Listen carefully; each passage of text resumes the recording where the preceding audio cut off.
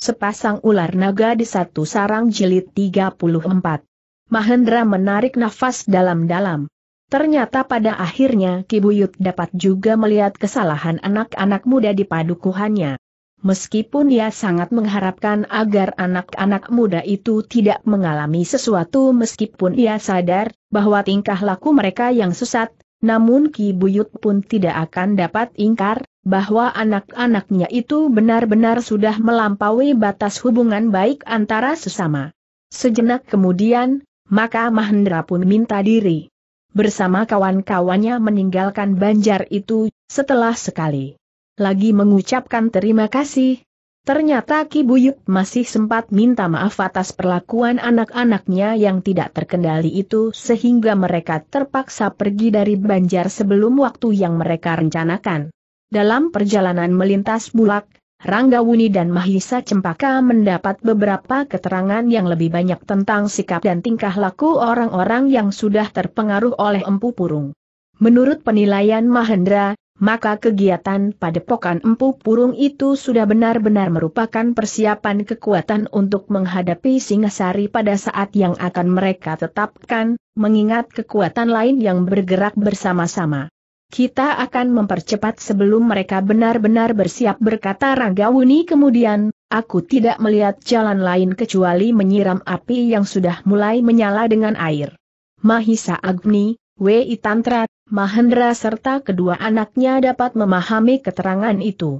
Dan mereka pun memang tidak melihat Caroline kecuali menghancurkan kekuatan mereka. Sementara itu, Ranggawuni dan Mahisa Cempaka telah menjadi semakin dekat dengan barak para prajurit Singasari. Mahisa Bungalan yang melihat mereka dari kejauhan, menjadi berdebar-debar karenanya. Dengan tergesa-gesa ia menjumpai Senopati Singasari yang memimpin prajurit di barak itu. Dengan singkat ia memberitahukan, bahwa yang datang itu tentu Tuan Kuranggawuni dan Mahisa Cempaka. Apakah benar-benar mereka senopati itu menjadi berdebar? Ya. Tetapi jangan kau beritahukan prajurit-prajuritmu lebih dahulu. Mungkin itu tidak dikehendaki oleh Tuan Kuranggawuni dan Mahisa Cempaka, berkata Mahisa Bungalan. Jadi, siapkan mereka, terserahlah, apa saja alasanmu. Kita akan menerima mereka di barak ini. Senopati itu mengerutkan keningnya. Kumpulkan para prajurit. Letakkan mereka di tempat yang sudah ditentukan. Kau tidak usah memberikan isyarat bagi prajurit. Prajuritmu yang tersembunyi, karena kau masih mempunyai waktu memerintahkan dua orang penghubung datang kepada mereka. Dan kau, aku akan menjemput mereka.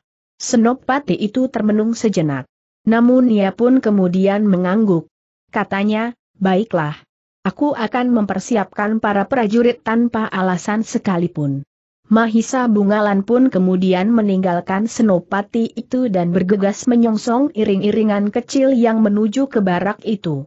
Dalam pada itu, anak-anak muda yang mengalami perlakuan kurang baik dari Mahisa Murti dan Mahisa Pukat, telah sampai kepada Pokan Empu Purung. Kepada pemimpin kelompok mereka melaporkan apa yang telah mereka alami.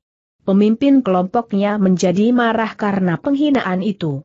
Apalagi ketika para cantrik mendengarnya pula bahwa dua orang anak muda sudah melukai tujuh orang yang pernah mendapat latihan-latihan olah kanuragan di padepokan mereka. Siapakah mereka itu bertanya seorang cantrik. Pedagang, keliling. Mereka menjual dan membeli benda-benda berharga, pusaka-pusaka dan batu-batu bertuah semacam akik dan sebagainya. Cantrik yang mendengar jawaban itu pun termangu-mangu sejenak namun terasa darahnya mulai memanas. Sebagai seorang cantrik pada sebuah padepokan yang disegani, maka yang terjadi itu benar-benar merupakan sebuah penghinaan yang tidak dapat dimaafkan. Dengan wajah yang tegang ia bertanya, apakah kalian bertujuh benar-benar tidak berdaya menghadapi kedua orang, anak muda itu sehingga keduanya dapat berbuat sesuka hatinya atasmu? Mereka benar-benar luar biasa. Bodoh bukan mereka yang luar biasa. Kalianlah yang dungu, atau kalian memang sudah menjadi pengecut. Ketujuh orang anak muda itu terdiam. Mereka melihat wajah cantrik itu semakin tegang. Kita akan menyelesaikan mereka berkata cantrik itu. Mereka tidak hanya berdua. Masih ada beberapa orang kawan mereka yang pada saat itu tidak berbuat apa-apa meskipun kedua kawannya berkelahi melawan tujuh orang, berkata anak muda yang bertubuh kekar. Mereka terlalu yakin akan kemampuan anak-anak muda itu. Karena itu, kita harus berbuat sesuatu, agar tidak menimbulkan salah mengerti, seolah-olah padepokan kita adalah padepokan sarang orang-orang yang lemah dan membiarkan dirinya dihina oleh pedagang-pedagang akik itu. Anak muda bertubuh kekar itu termangu-mangu sejenak. Namun kemudian ia dengan ragu-ragu memperingatkan, maksudku, jika dua orang saja di antara mereka tidak dapat kami kalahkan meskipun kami bertujuh, maka jika mereka semuanya melibatkan diri, maka kekuatan mereka perlu dipertimbangkan. Kau benar-benar telah menjadi seorang pengecut bentak cantrik itu, sehingga anak muda bertubuh kekar itu pun menundukkan wajahnya, sementara cantrik itu melanjutkan, kalian harus melihat, bahwa aku akan membuat mereka jera. Tetapi sudah tentu aku tidak akan pergi sendiri. Cantrik itu pun kemudian menghubungi beberapa orang kawannya yang dianggapnya mempunyai kemampuan yang seimbang. Dengan dada tengadah ia berkata, aku tidak mau membuat keributan di padepokan ini. Biarlah kalian tidak menceritakan kepada cantrik-cantrik yang lain, sehingga hati mereka pun akan terbakar pula. Kami akan menyelesaikan hal ini dengan diam-diam. Apakah kami akan ikut serta bertanda anak muda bertubuh kekar itu? Itu tidak perlu jawab cantrik itu. Namun tiba-tiba terasa sesuatu menggelitik hati anak-anak muda yang telah menjadi merah biru dan bengkak-bengkak di wajahnya itu. Bahkan di antara mereka terdengar seseorang berbisik, para cantrik itu agaknya juga mengingini barang-barang yang dibawa oleh pedagang itu, sehingga mereka tidak akan pergi bersama kawan-kawannya yang lain, agar barang-barang itu tidak jatuh ke tangan orang-orang yang terlalu banyak jumlahnya. Tetapi yang lain menyahut, masih harus diperhitungkan, apakah mereka akan berhasil mengalahkan pedagang-pedagang itu. Mereka tidak mempercakapkannya lebih lanjut karena cantrik-cantrik itu berkata, jangan membuat ribut. Jangan kau ceritakan kepada orang lain lagi apa yang telah kalian alami. Kamilah yang akan menyelesaikan mereka. Anak-anak muda itu tidak menyahut, kecuali menganggukkan kepala.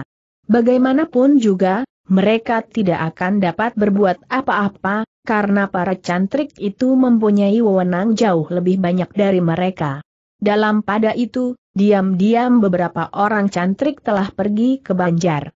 Sebenarnya lah seperti yang diduga oleh anak-anak muda itu, mereka memang ingin membatasi jumlah kawan mereka, agar dengan demikian mereka akan mendapatkan sesuatu yang berharga dari antara barang-barang pedagang yang sudah menghina padepokan mereka itu.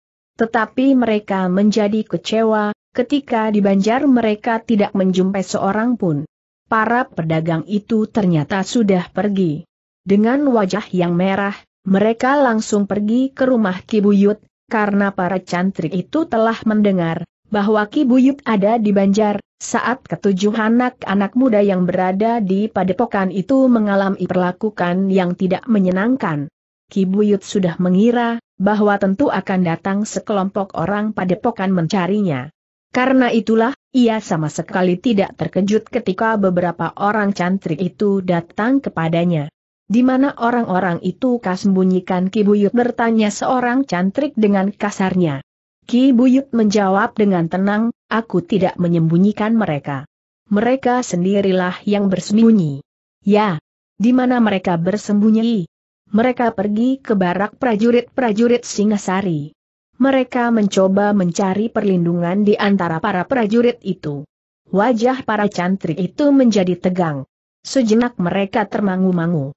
Namun kemudian dengan lantang salah seorang dari mereka berkata, apakah kau tidak berbohong? Kibuyut, kami akan pergi ke barak itu. Jika Kibuyut berbohong, maka Kibuyut akan menyesal.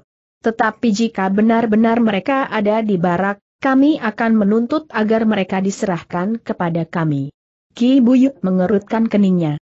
Sejenak ia berpikir, apakah para cantrik itu benar-benar berani datang ke barak prajurit-prajurit Singasari dan menuntut agar orang-orang yang berlindung di barak itu diserahkan kepada mereka. Jika demikian, apakah kira-kira yang akan dilakukan oleh para prajurit Singasari itu? Selagi Ki Buyut itu termangu-mangu, maka para cantrik itu pun menjadi tidak sabar. Salah seorang dari mereka membentak Hi, kenapa kau termenung? Apakah kau telah membohongi kami? Tidak sahut Kibuyut, aku tidak bohong. Aku berkata sebenarnya bahwa mereka ada di barak. Seorang cantrik yang berwajah kasar berkata, marilah, kita buktikan, apakah orang-orang itu benar berada di barak. Jika benar, apa salahnya kita minta mereka karena kita mempunyai persoalan dengan mereka. Tetapi jika tidak desis yang lain, maka aku tidak akan dapat memaafkan Ki Buyut. Meskipun ia dianggap orang tua di padukuhan ini, namun ia sama sekali tidak pantas untuk dihargai. Ki Buyut menjadi tegang. Tetapi ia tidak menjawab sama sekali sejenak kemudian beberapa orang cantrik yang memiliki ilmu. Cukup daripada pokan empu purung itu telah meninggalkan Ki Buyut. Menurut pengamatan Ki Buyut kemudian, mereka benar-benar telah pergi ke barak, untuk menuntut agar para pedagang itu diserahkan kepada mereka. Seperti yang mereka katakan, maka para cantrik itu memang benar-benar pergi ke barak. Ketika mereka melihat dua orang penjaga bersenjata telanjang di muka barak itu, salah seorang berkata, mereka hanya berdiri untuk menakut-nakuti orang lewat. Tidak ada yang mereka lakukan di sana. Prajurit-prajurit itu kerjanya hanyalah makan, tidur dan bergurau tanpa henti-hentinya. Mereka tidak mempunyai pekerjaan lain. Aku tidak percaya bahwa mereka memiliki keberanian untuk menolak permintaan kita jika benar-benar orang-orang itu ada di barak. Yang lain mengangguk-angguk sambil tertawa. Katanya, mereka adalah orang-orang malas yang bodoh. Singasari pun terlalu bodoh untuk mengangkat mereka menjadi prajurit mereka hanya menghabiskan makan dan belanja mereka tanpa berbuat apa-apa. Yang lain masih tertawa. Seorang cantrik yang kurus menyambung, kita akan mengambil semua barang yang mereka bawa. Jika mereka sudah menyembunyikan di barak itu, mereka harus mengambilnya. Tentu. Dan anak-anak padukuhan yang malang itu tentu akan menjadi iri, karena mereka tidak berhasil merampas barang-barang bertuah dari para pedagang itu. Para cantrik itu tertawa semakin keras.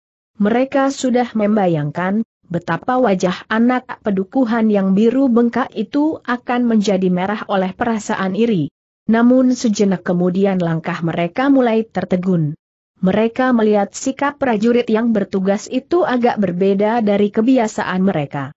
Nampaknya keduanya berjaga-jaga dengan sungguh-sungguh. Tidak dengan malas, dan seakan-akan tanpa gairah sama sekali. Mungkin karena ada beberapa orang yang minta perlindungan kepada mereka berkata salah seorang dari para cantrik itu. Persetan geram cantrik yang tertua, aku akan memaksa mereka untuk menyerahkan orang-orang itu. Sejenak kemudian mereka telah menjadi semakin dekat agaknya prajurit yang sedang bertugas dengan senjata telanjang itu telah melihat para cantrik itu mendekat. Dengan wajah yang tegang, maka kedua penjaga pintu gerbang halaman barak itu pun kemudian menghentikan mereka sambil bertanya, siapakah kalian, dan apakah yang kalian kehendaki? Sekelompok kecil para cantrik itu termangu-mangu. Namun orang tertua di antara mereka pun segera melangkah maju sambil bertanya, Kisana. Apakah ada beberapa orang pedagang yang tadi datang kemari? Prajurit-prajurit yang sedang bertugas itu termenung sejenak. Mereka sudah mengetahui serba sedikit persoalan yang sedang dihadapinya. Karena itu, maka salah seorang dari mereka pun menjawab, ya, kami sudah tahu persoalannya pedagang-pedagang yang akan dirampok itu memang ada di sini. Dirampok? Siapakah yang akan merampok mereka? Anak-anak muda dari padepokan Empu Purung.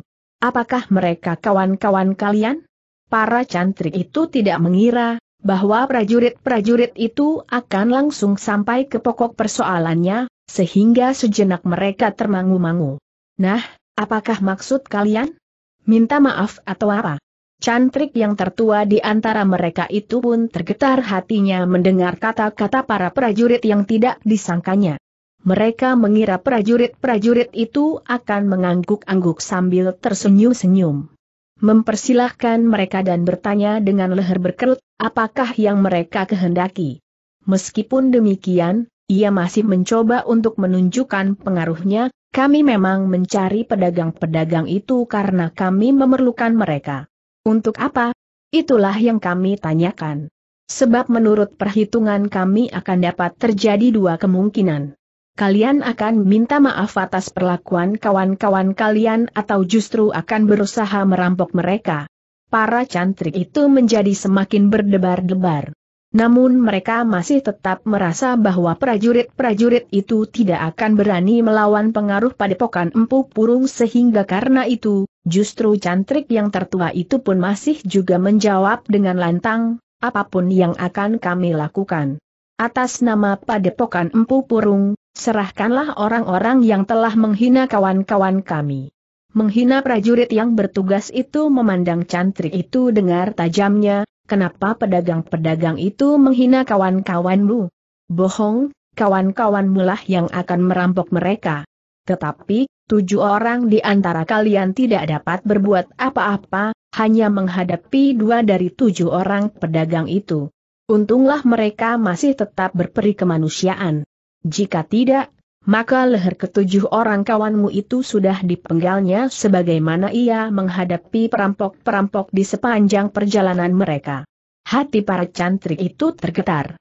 Bukan saja karena sikap prajurit-prajurit Singasari yang tidak diduganya, tetapi juga karena cerita prajurit-prajurit itu tentang para pedagang yang melarikan diri dari Banjar dan mencari perlindungan di barak itu.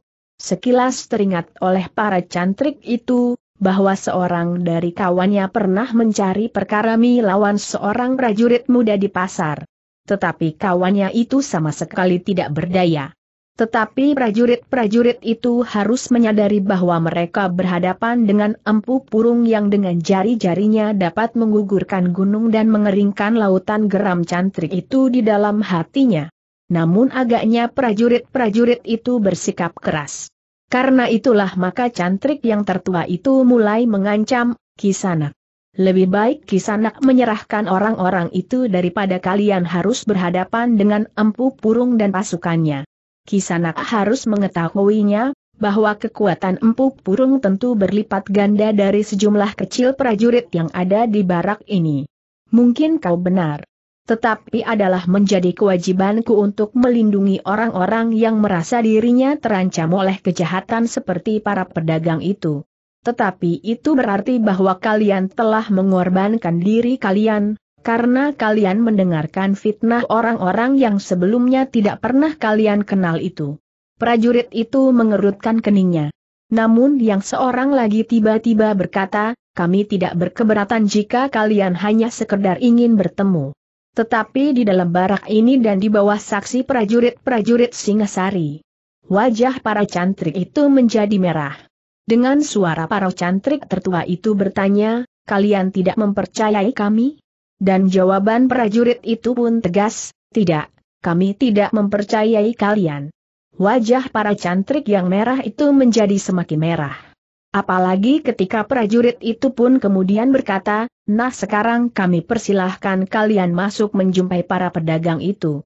Namun cantrik yang tertua itu pun mencoba untuk berkata setegas para prajurit, tidak. Aku tidak akan memasuki barak prajurit Singasari. Aku memerlukan pedagang-pedagang itu. Masuklah, prajurit itu mendesak. Tidak. Namun para cantrik itu terkejut. Beberapa orang prajurit bersenjata tiba-tiba saja telah keluar dari regol sambil berkata, memandang mereka dengan tajamnya.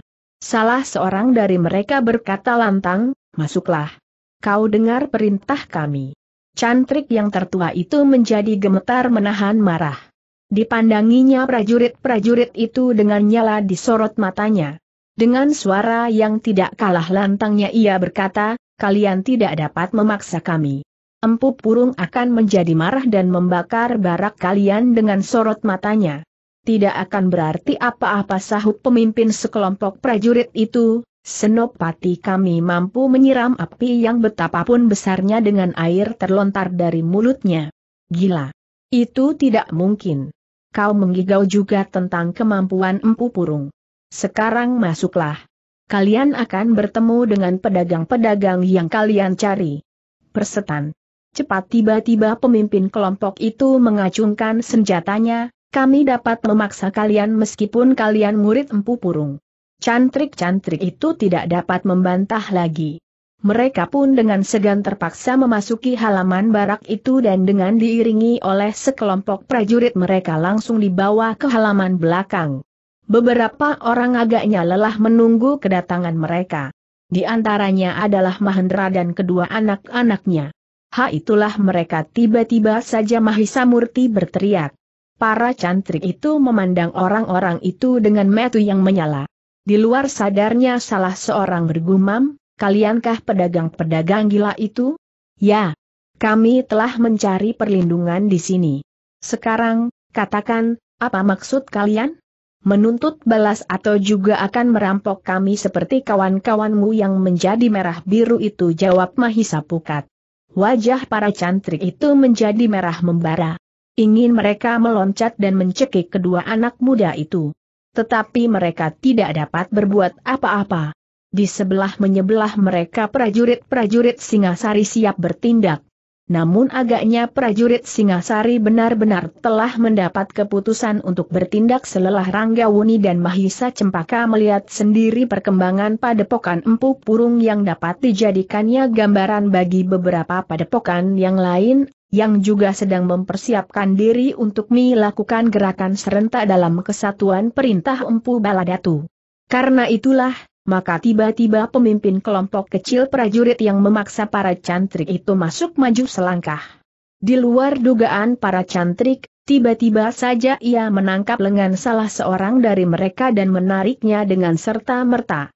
Hi cantrik itu berteriak, apa maksudmu? Kau menjadi tawanan kami bawalah kawan-kawanmu yang akan merampok para pedagang ini. Jika mereka telah datang, barulah yang seorang ini aku lepaskan. Tetapi mereka bertanggung jawab atas perbuatan mereka sendiri berkata cantrik yang bertubuh kekar. Aku tidak peduli. Sekarang kalian boleh pergi. Tetapi untuk melepaskan yang seorang, ini, tujuh orang yang berusaha merampok pedagang-pedagang ini harus kalian serahkan. Anak muda bertubuh kekar di antara para cantrik itu mendesak maju. Matanya bagaikan menyala. Kata-katanya gemetar karena marah, itu bukan persoalan kami. Kami tidak tahu menahu tentang mereka. Bohong. Kedatangan kalian adalah karena ketujuh orang yang menjadi merah biru itu tentu melaporkan kepada kalian. Semula kami tidak ingin mempersoalkannya lagi, karena mereka sudah cukup mendapat hukuman oleh kekalahan mereka. Tetapi kedatangan kalian membuat kami marah. Wajah para cantrik itu menjadi merah padam. Tetapi mereka tidak dapat berbuat apa-apa. Ternyata sikap para prajurit itu berbeda dengan dugaan mereka. Jika mereka menyebut diri mereka para cantrik dari padepokan Empu Purung, maka semua kata-kata mereka akan dipenuhi dengan wajah yang terang dan senyum di bibir. Tetapi ternyata bahwa para prajurit Singasari itu telah berbuat lain. Mereka justru menangkap seorang dari antara mereka. Sejenak para cantrik itu termangu-mangu. Namun kemudian cantrik yang tertua di antara mereka berkata, Kisanak, kalian jangan bermain-main dengan empu purung. Tindakan kalian dapat memancing kemarahannya. Ia tidak akan marah jawab pemimpin kelompok kecil itu, apalagi jika kau berkata dengan jujur, bahwa beberapa orang anak muda dari padepokan itu telah berusaha merampok para pedagang batu bertuah. Jawaban itu benar-benar telah menggetarkan dada para cantrik itu. Rasa-rasanya dada mereka akan retak. Meskipun demikian mereka tidak dapat berbuat apa-apa. Mereka berada di tengah-tengah barak prajurit Singasari. Meskipun nampaknya para prajurit yang lain, yang lalu lalang di halaman itu tidak menghiraukan mereka kecuali yang sedang bertugas, namun mereka tidak akan dapat berbuat sesuatu. Karena itu, yang dapat dilakukan oleh cantrik yang tertua adalah sekedar mengumpat dan mengancam, kalian benar-benar orang yang tidak tahu diri. Kalian berada di daerah kekuasaan Empu Purung. Jika kalian mencoba mengganggu kuasanya, maka kalian tentu akan menyesal. Berapa jumlah prajurit Singasari yang ada di sini? Di padepokan Empu Purung tersimpan kekuatan 4-5 kali lebih besar dari kekuatan prajurit di sini. Aku tidak peduli jawab pemimpin prajurit itu. Dan kalian akan hancurkan lumat karena kekuatan yang tidak terlawan. Janganlah kalian, sedangkan gunung akan runtuh dan lautan akan kering. Sudah berapa kali kau katakan? Dan sudah berapa kali aku katakan, bahwa aku tidak percaya. Wajah para cantrik bagaikan terbakar oleh kemarahan. Namun yang dapat mereka lakukan adalah dengan tergesa-gesa meninggalkan halaman barak itu sambil berkata kepada kawannya yang harus tinggal, sebentar lagi aku akan datang. Kau akan kami bebaskan, dan para prajurit akan menyesali tingkah lakunya.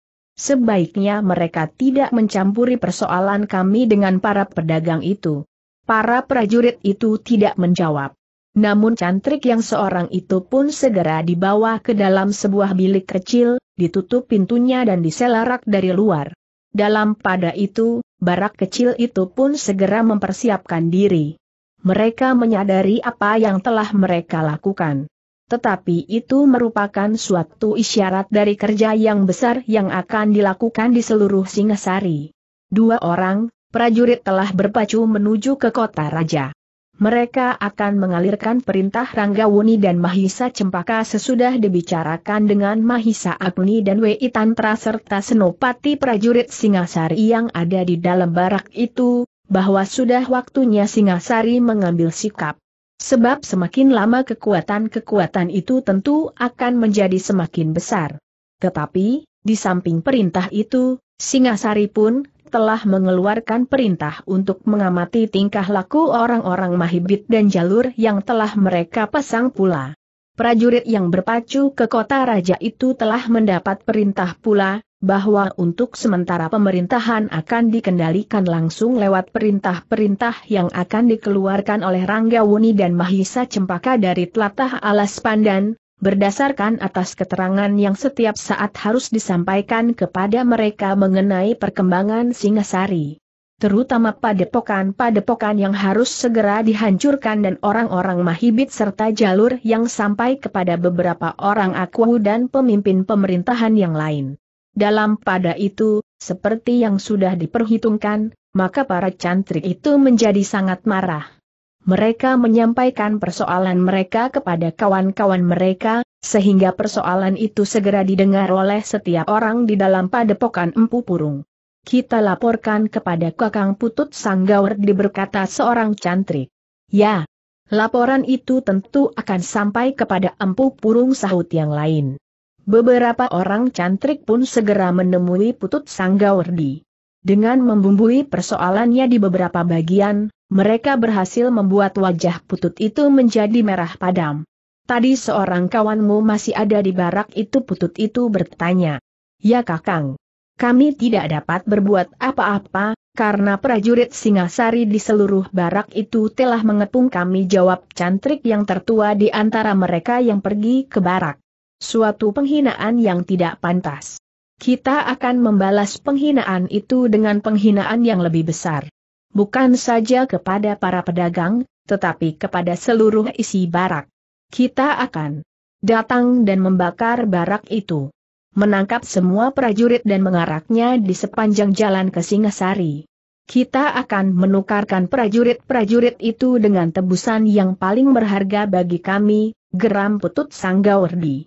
Ya sahut beberapa orang cantrik sekaligus, kita akan berbuat sesuatu yang dapat membersihkan nama kita dari penghinaan itu.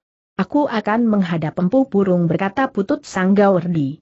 Para cantrik itu pun berharap, agar Empu Purung dapat mendengarkan keinginan mereka.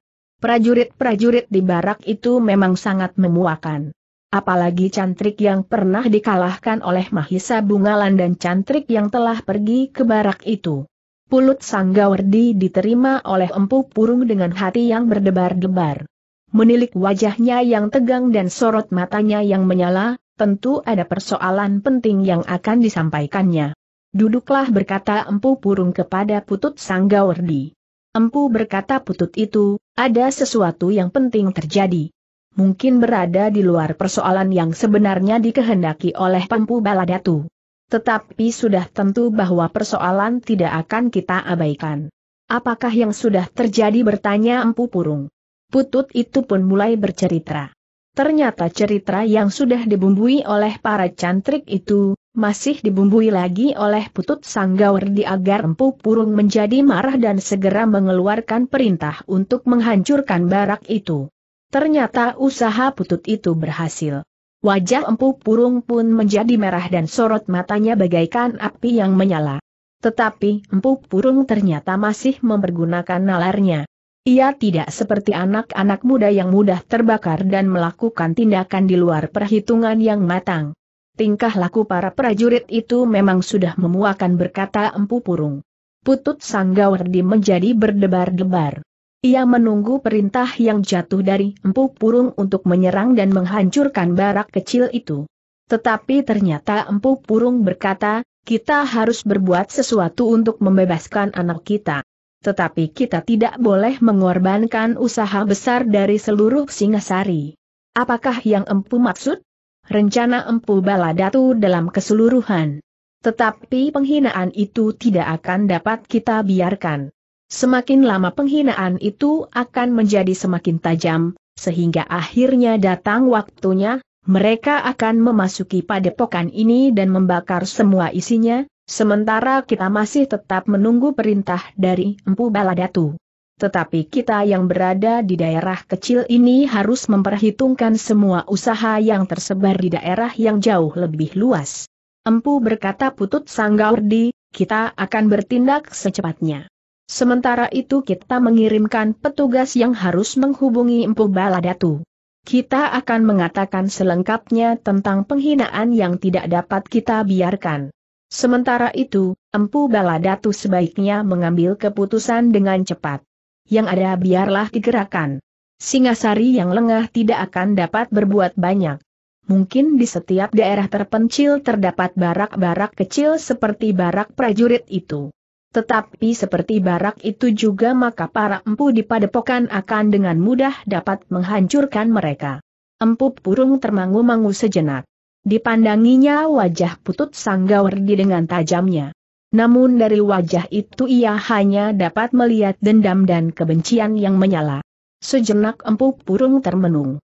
Namun kemudian sambil mengangguk ia berkata, baiklah, Aku akan mengirimkan dua orang penghubung untuk melaporkan kepada Empu Baladatu bahwa kita di sini sudah tidak dapat menunda lagi. Benturan kekuatan sudah terjadi karena penghinaan yang tidak dapat kita maafkan lagi. Demikian penghubung itu berangkat, demikian kita mulai bergerak. Putut Sanggawardi. Aku pun terbakar mendengar pengaduan itu. Tetapi kita tidak boleh bertindak tergesa-gesa agar langkah kita tidak sesat. Apalagi yang harus dipertimbangkan empu bertanya Putut Sanggawardi. Kita harus mengumpulkan semua kekuatan yang ada.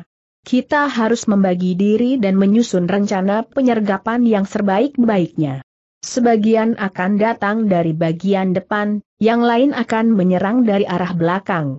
Berarti sekelompok dari kita akan naik ke lereng pegunungan kecil dan turun bagaikan batu-batu yang runtuh melanda barak itu. Semuanya akan berjalan lancar jika perintah telah jatuh. Empu Purung termangu-mangu. Namun kemudian ia pun memerintahkan Putut Sanggawardi untuk memanggil dua orang penghubung yang akan pergi kepada pokan Empu Baladatu. Katakan, bahwa kita di sini tidak dapat menunggu lagi. Meskipun alasannya agak berbeda dengan yang sebenarnya, tetapi kita harus segera mulai. Apakah kami harus mengatakan bahwa empu sudah mulai bertanya penghubung itu? Ya. Karena demikian kau berangkat, maka kami akan menyusun rencana yang akan segera kami lakukan. Hari ini juga. Kedua orang penghubung itu mengangguk-angguk. Perjalanan ke Padepokan Empu Baladatu bukannya perjalanan yang pendek.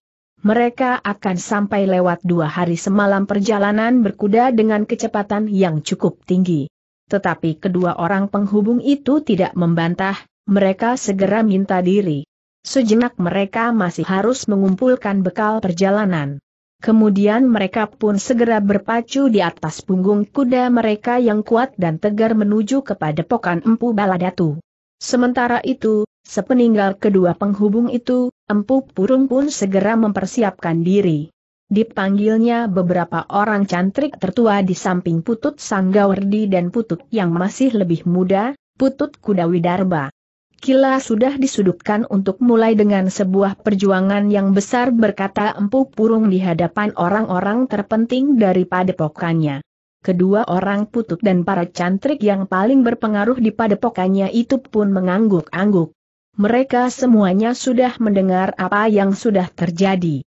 Seorang cantrik telah ditawan oleh para prajurit, yang menurut pengertian mereka tanpa sebab. Kita tidak boleh membiarkan penghinaan itu terjadi.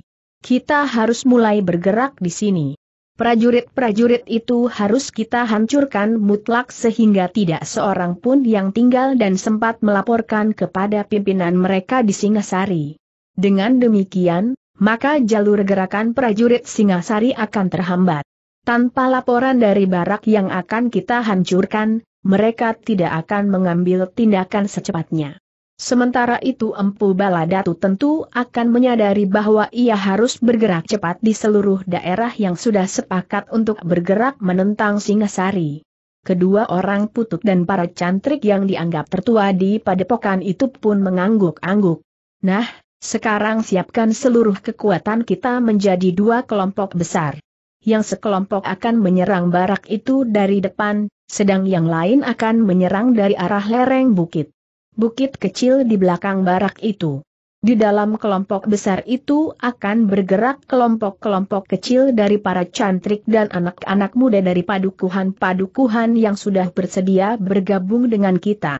Kita akan membunyikan isyarat memanggil setiap laki-laki yang berada di bawah pengaruh padepokan ini, Seorang cantrik berkata lantang. Bodoh kau bentak empu purung, isyarat itu akan mengisyaratkan pula kepada para prajurit Singasari untuk bergerak. Jika mereka merasa lemah, mereka akan meninggalkan tempatnya. Jika mereka merasa kuat, mereka akan menyusun pertahanan. Jadi bertanya cantrik itu. Kalian harus bergerak cepat. Kalian akan memanggil setiap orang hubungan itu harus berlangsung cepat dan berantai. Menjelang senja, semuanya harus sudah berkumpul. Kita akan bergerak di malam hari. Besok, ketika Fajar menyingsing, kita akan mulai bergerak menyerang barak itu. Yang menyerang dari depan, akan datang lebih dahulu. Yang lain menyusul di saat kekuatan prajurit itu sudah tertumpah pada pertempuran di bagian depan. Kelompok yang turun lereng bukit, akan menghancurkan dinding barak yang lemah di bagian belakang dan menduduki barak itu. Menangkap semua orang yang ada dan membunuhnya sekaligus tanpa ampun. Juga para pedagang yang berlindung di dalam barak itu. Para cantrik mengangguk-angguk. Mereka telah memahami apa yang harus mereka lakukan. Karena itulah, maka mereka pun segera berpencar memanggil setiap orang yang akan ikut serta dalam pertempuran yang akan terjadi melawan prajurit Singasari yang telah melindungi para pedagang dan telah menawan seorang cantrik. Dengan segera panggilan bagi setiap laki-laki yang berada di bawah pengaruh empu purung itu pun menjalar ke segenap penjuru. Dari mulut ke mulut, maka setiap orang yang berkepentingan pun segera mendengar perintah empu purung. Seperti kegembiraan telah melanda hati mereka. Telah cukup lama mereka menempa diri dalam olah kanuragan. Tetapi mereka belum pernah mendapat kesempatan untuk mengukur kemampuan mereka. Tiba-tiba kini datang kesempatan itu. Mereka akan bertempur melawan prajurit-prajurit Singasari yang jumlahnya tidak terlampau banyak. Untuk pengalaman pertama, maka tugas ini cukup berat desis salah seorang dari mereka. Yang lain mencibirkan sambil berkata, hampir tidak ada gunanya. Para cantrik sudah akan berebut dahulu mencincang prajurit-prajurit yang jumlahnya tidak lebih dari jumlah jari sebelah tangan itu. Jangan menganggap mereka semacam patung. Mereka telah mendapat latihan-latihan yang masak untuk bertempur. Mungkin mereka memiliki pengalaman yang jauh lebih banyak dari kita semuanya, desis salah seorang dari mereka. Beberapa orang tertawa serentak. Salah seorang berkata, kau memang pengecut. Tetapi baiklah. Lebih baik berhati-hati daripada terperosok ke dalam kesulitan. Tetapi kau harus percaya kepada diri sendiri, bahwa prajurit-prajurit Singasari yang ada di barak itu tidak lebih dari pemalas dan pemabuk kau telah melupakan apa yang pernah terjadi orang itu masih berusaha untuk membantah, seorang dari antara kita telah mengalami nasib buruk di tengah-tengah pasar. Untunglah bahwa ia masih selamat. Kemudian tujuh orang yang datang menjumpai pedagang yang sekarang berada di antara para prajurit itu pula.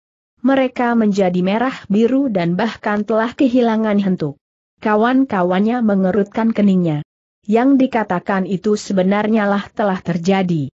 Namun salah seorang dari mereka menjawab, di hadapan para cantrik, terutama di hadapan Putut Sanggawardi dan Putut Kudawidarba, mereka tidak akan berarti apa-apa. Terlebih lagi, Empu Purung sendiri akan turun ke medan menghancurkan mereka sehingga lumat menjadi debu. Kawan-kawan Uya mengangguk-angguk. Jika Empu Purung sendiri turun ke medan, maka prajurit-prajurit Singasari itu memang tidak akan ada artinya. Karena itulah, maka dengan penuh kepercayaan kepada diri sendiri, pasukan Empu Purung itu pun telah siap pada waktunya. Menjelang senja mereka telah berada di sekitar padepokan. Putut Sanggawardi dan Putut Kuda Wei Darba sibuk membagi mereka dalam kelompok-kelompok yang tidak terlalu besar. Di setiap kelompok terdapat anak-anak muda dari padukuhan di sekitar padepokan dan beberapa orang cantrik. Seorang cantrik yang tertua di antara mereka, akan menjadi pemimpin kelompok dan bertanggung jawab terhadap salah seorang dari kedua putut yang ada di padepokan itu. Kita mempunyai 12 kelompok berkata putut Sanggawardi. Ya sahut putut yang lebih muda, tujuh kelompok akan menyerang dari depan, dan lima kelompok yang lain akan menghancurkan barak itu dari belakang. Empu Purung yang mendapat laporan bahwa pasukannya telah siap, segera mengadakan penelitian terakhir, lah melihat dengan teliti kedua belas kelompok yang akan berangkat ke barak yang tidak terlalu jauh. Selebihnya dari kedua belas kelompok itu harus berjaga-jaga di padepokan dan mengawasi setiap perkembangan keadaan. Rata-rata tiga orang empu, tetapi ada juga yang hanya dua orang, jawab Putut Sanggawardi. Empu Purung mengerutkan keningnya. Sementara Putut Sanggawardi melanjutkan, tetapi dua kelompok di antara kedua belas kelompok itu terdiri seluruhnya anak-anak muda pilihan dan tiga orang cantrik pilihan pula. Mereka akan berada di paling depan dari kedua arah yang sudah ditentukan. Empu Purung mengangguk-angguk. Lalu katanya, salah seorang di belakang. Aku akan ikut serta dalam sergapan dari depan. Kedua putut itu mengangguk-angguk. Putut Sanggawardi yang sudah lebih tua dan mempunyai lebih banyak pengalaman akan berada di dalam pasukan yang akan menyergap dari belakang. Pulut Sanggawardi mengangguk-angguk. Katanya, baik empu aku akan menyesuaikan diri. Empu Purung mengangguk-angguk pula. Nampaknya ia puas dengan pasukannya, sehingga ia pun berkata, kita akan segera berangkat. Aku akan menyertai pasukan yang terdiri dari tujuh kelompok.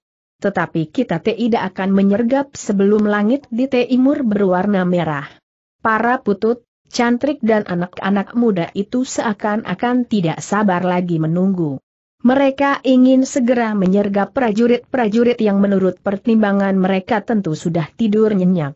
Bahkan para prajurit yang malas itu tidak akan terbangun seandainya mereka mendengar bukit kecil di sebelah barak mereka itu runtuh.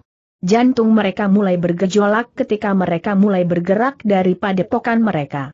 Kelompok-kelompok yang terbagi menjadi dua bagian itu pun segera memisahkan diri yang dipimpin oleh Empu Purung sendiri bersama Putut Kuda Widarba langsung menuju ke barak itu, sementara yang lain melingkar dan akan turun dari bukit kecil menyerang dari arah belakang. Hati-hati!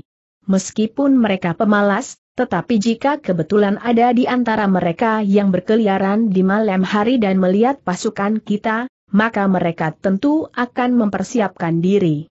Bersiap untuk lari, atau mencoba untuk melawan kekuatan kita yang tentu akan berada di luar kemampuan mereka, pesan Empu Purung kepada pasukannya, terutama yang akan menyerang dari belakang. Kita akan melontarkan isyarat dengan panah-panah api berkata Empu Purung selanjutnya baru kalian meluncur turun.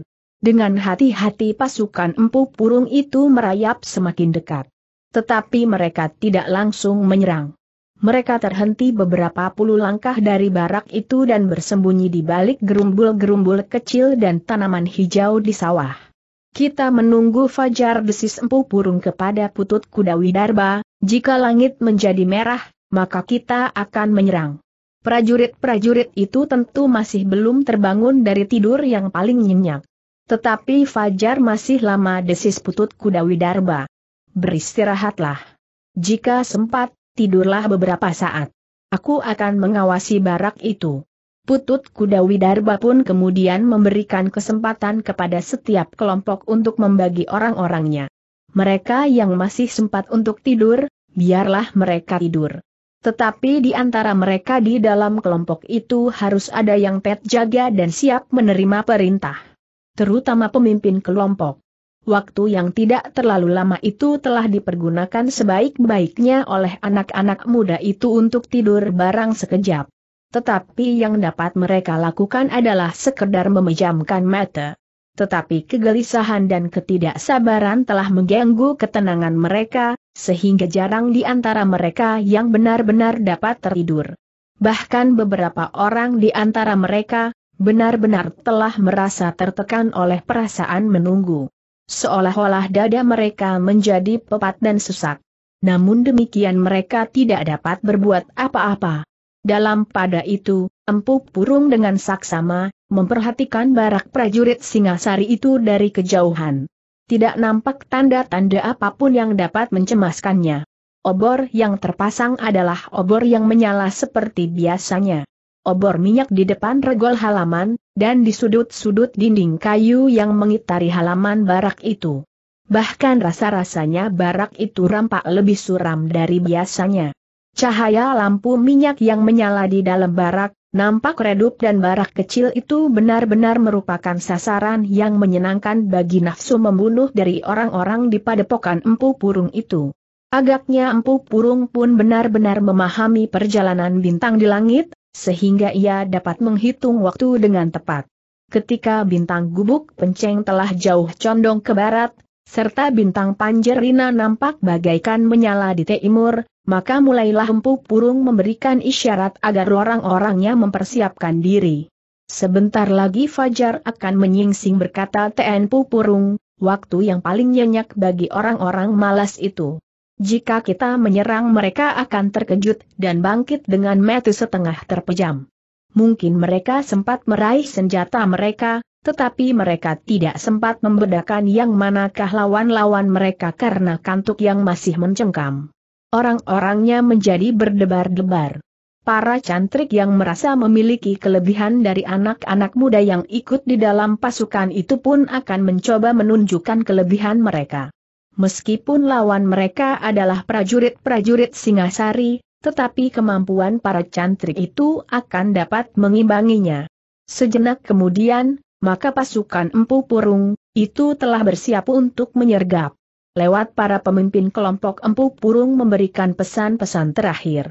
Separuh dari kita sudah siap untuk menyergap dari belakang berkata Empu Purung, semuanya akan berjalan lancar dan kita akan membinasakan setiap yang hidup di dalam barak itu. Dengan isyarat, maka pasukan itu pun segera bergerak maju. Dalam cahaya kemerah-merahan mereka melihat barak yang sepi, seolah-olah sama sekali tidak berpenghuni. Cahaya lampu masih menyala di regol dan di sudut-sudut dinding halaman. Namun tidak seorang pun yang nampak selain dua orang penjaga yang berjalan hilir mudik. Kita akan menyergap penjaga itu akan berteriak. Tetapi kesempatan mereka sangat sedikit desis empu purung. Perlahan-lahan pasukannya pun bergerak maju. Semakin dekat mereka dengan barak itu, maka mereka pun menjadi semakin berdebar-debar. Apalagi ketika menurut pengamatan mereka dalam keremangan dini hari, barak itu tetap sepi. Empu Purung dan orang-orangnya tertegun sejenak, ketika mereka mendengar suara burung tuhu di kejauhan. Suaranya bagaikan menyobek hati. Lambang kematian desis salah seorang cantrik, suara burung tuhu adalah suara maut. Tetapi tidak terdengar suara burung kulik. Biasanya suara burung tuhu didahului suara burung kulik yang memekik-mekik tinggi, desis yang lain. Keduanya memang panggilan maut. Tetapi suara burung tuhulah yang menentukan. Kulik sekedar memberikan pertanda. Namun dalam pada itu, Empu Purung yang berada di antara pasukannya menjadi tegang. Ia adalah seorang yang memiliki pendengaran yang tajam. Sehingga karena itu maka dengan tegang. Ia bertanya kepada Putut Kuda Widarba, kau dengar suara burung tuhu? Ya empu. Bagaimana menurut pendengaranmu? Putut itu pun termasuk anak muda yang memiliki ilmu kanuragan yang tinggi. Inderanya menjadi bertambah tajam. Karena itulah maka di telinganya, suara burung tuhu itu pun terdengar agak aneh. Empu jesis putut kuda widarba, apakah itu benar-benar suara burung hantu? Tidak. Kita sudah diketahui oleh orang-orang di dalam barak itu. Suara itu adalah suara isyarat. Karena itu kita yang terlambat. Kita harus segera menyergap sekarang. Putut kuda widarba mengerutkan keningnya. Namun tiba-tiba ia menyadari apa yang akan terjadi. Karena itulah, maka ia pun segera mengacukan pedangnya tinggi-tinggi sambil berteriak nyaring. Suaranya memukul tebing dan melontarkan gema yang seakan-akan berputaran di udara. Aba-aba itulah yang ditunggu oleh para cantrik dan anak-anak muda yang ikut serta di dalam pasukan itu. Demikian mereka mendengar aba-aba itu, maka mereka pun serentak meloncat berlari menyerang barak yang nampaknya sangat sepi. Tetapi oleh latihan-latihan yang matang, maka mereka sama sekali tidak terpecah dari kelompok masing-masing dan kedudukan yang sudah ditentukan. Meskipun jumlah mereka tidak terlalu banyak, namun mereka telah membentuk sebuah gelar kecil, Garuda Layang. Empu Purung sendirilah yang menjadi paruh gelar, di belakangnya selangkah putut kuda Widarba dan dua orang cantrik terpercaya. Kemudian bertebaran sayap sebelah menyebalah dipimpin oleh pemimpin kelompok masing-masing. Sementara sekelompok yang lain berada tepat di belakang paruh gelar itu, sebagai ekornya yang siap membantu apabila pimpinan dar mengalami kesulitan tetapi juga merupakan perisai yang akan dapat melindungi pimpinan gelar jika ada serangan tiba-tiba dari arah belakang. Empu Purung yang memimpin sergapan itu langsung mendekati barak yang sepi. Mereka tidak berniat untuk langsung memasuki barak, karena menurut pendapat mereka, prajurit yang ada di barak itu sudah mengetahui bahwa lawan akan segera datang. Empu Purung yang memimpin sergapan itu langsung menuju ke pintu gebang, sementara saja gelarnya menebar di sepanjang dinding halaman barak. Beberapa langkah dari dinding barak, Empu Purung memberikan isyarat agar pasukannya berhenti sejenak untuk mengamati keadaan. Tetapi barak itu benar-benar sepi. Bahkan kedua penjaga yang semula hilir mudik di pintu gerbang itu pun sudah tidak nampak lagi. Empu Purung menjadi termangu-mangu sejenak. Ia tidak melihat prajurit-prajurit Singasari itu menjengukkan kepala mereka dan melontar anak panah untuk mempertahankan barak mereka. Sepi sekali desis empu purung, mereka sama sekali tidak menampakkan diri. Mereka menunggu di halaman desis kuda Widarba. Pintu barak itu ditutup, sementara penjaganya telah hilang di dalam, sahut empu purung. Kita pecahkan pintu gerbang. Jika di depan pintu gerbang itu berkumpul prajurit-prajurit Singasari, maka kita akan memancing mereka keluar, atau kita akan memanjat dinding. Tetapi berhati-hatilah. Siapkan senjala kalian. Mungkin prajurit-prajurit itu siap menyambut kalian dengan anak panah pada jarak yang cukup di dalam dinding. Putut kuda Widarba ragu-ragu. Ia tidak dapat mengintip keadaan di dalam halaman karena halaman barak itu masih cukup gelap, sementara lampu-lampu obor tiba-tiba saja telah padam. Apakah kita menunggu terang desis putut kuda Widarba? Tidak. Kita akan memecahkan pintu seperti yang kau katakan, geram Empu Purung. Empu Purung pun kemudian bersama beberapa orang cantrik telah bersiap mendorong pintu yang tertutup itu. Namun tiba-tiba Empu Purung berkata minggirlah. Aku sendirilah yang akan memecahkannya. Para cantrik itu pun menjadi terheran-heran. Dengan ragu-ragu mereka bergeser menjauh, sementara Empu Purung melangkah mendekat sambil mempersiapkan diri. Sejenak Empu Purung memusatkan segenap kekuatannya. Dipandanginya pintu gerbang yang tertutup itu dengan tajamnya. Kemudian, sambil berteriak nyaring empu purung mi loncat sambil menghantam pintu gerbang itu dengan kedua belah tangannya lurus ke depan. Orang-orang yang menyaksikan hentakan kekuatan itu pun menahan nafas. Di ujung suara teriakan empu purung terdengar pintu gerbang itu berderak. Selarak pintu yang besar telah patah, dan pintu itu pun telah pecah berkeping-keping. Para cantrik dan anak-anak muda yang menyaksikannya menjadi tegang. Mereka telah sering menyaksikan kemampuan empu purung yang mengherankan bagi mereka. Dan kini sekali lagi mereka melihat betapa empu purung mampu melakukan sesuatu di luar kemampuan orang kebanyakan. Dalam pada itu, empu purung yang berdiri tegang, memandang halaman barak yang sepi itu. Setelah pintu gerbang itu pecah, maka mereka pun dapat melihat halaman dan barak yang seakan-akan memang tidak berpenghuni itu. Aneh desis empu purung, ternyata halaman ini memang sepi, jadi, ke manakah mereka itu empu bertanya putut kuda. Widarba. Empu purung menggelengkan kepalanya. Sejenak ia teringat kepada suara yang baru saja didengarnya. Suara burung tuh. Agaknya isyarat itu memberitahukan kehadiran kita, sehingga para prajurit Singasari itu telah melarikan diri dari barak ini berkata Empu Purung kemudian. Tetapi jika demikian, tentu mereka masih belum terlalu jauh, sahut putut kuda Widarba. Ya, tetapi mungkin hanya sebagian kecil atau bahkan hanya kedua penjaga itu sajalah yang masih ada di barak ini di saat terakhir, sehingga jika kita mengejarnya maka hanya dua orang itu sajalah yang akan dapat kita tangkap jawab Empu Purung. Apakah kita akan memeriksa barak itu? Empu Purung termangu-mangu sejenak. Namun katanya kemudian, kita akan memasuki setiap barak dengan senjata terhunus. Meskipun kita yakin bahwa prajurit-prajurit itu adalah pengecut, namun kita harus tetap berhati-hati. Demikianlah maka Empu Purung pun telah membawa orang-orangnya memasuki barak itu.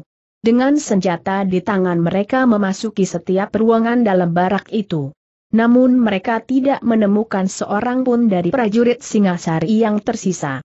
Gila geram Empu Purung, ternyata mereka dapat mencium gerakan kita. Mereka sempat melarikan diri di luar pengamatan kita.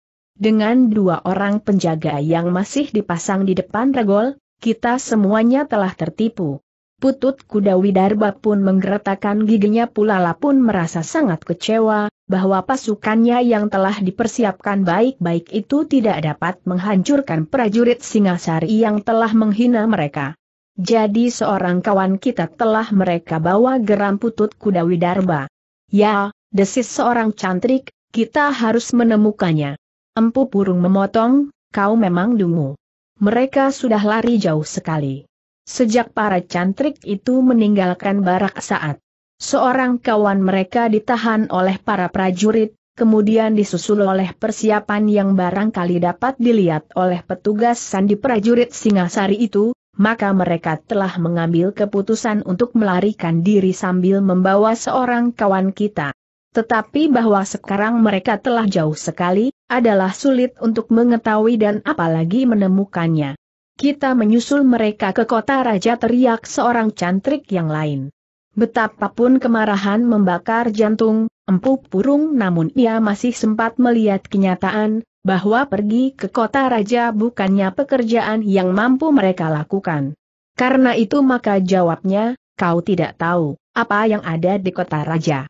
Jika kita memasuki kota raja untuk mencari seorang kawan kita tanpa mempersiapkan diri, terutama kekuatan yang telah dihimpun Empu Baladatu dalam keseluruhan, maka kita bagaikan sulung memasuki api.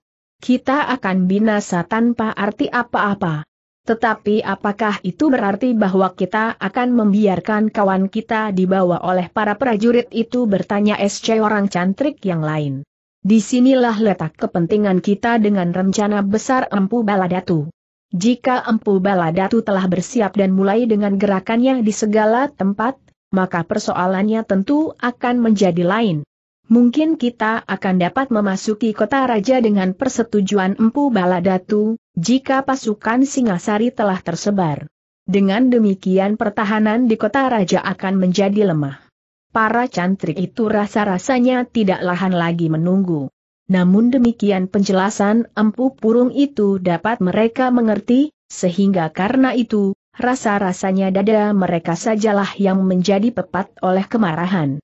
Namun dalam pada itu, selagi mereka sibuk dengan persoalan yang mereka hadapi, tiba-tiba saja mereka melihat isyarat dari arah belakang barak itu pada jarak yang agak jauh.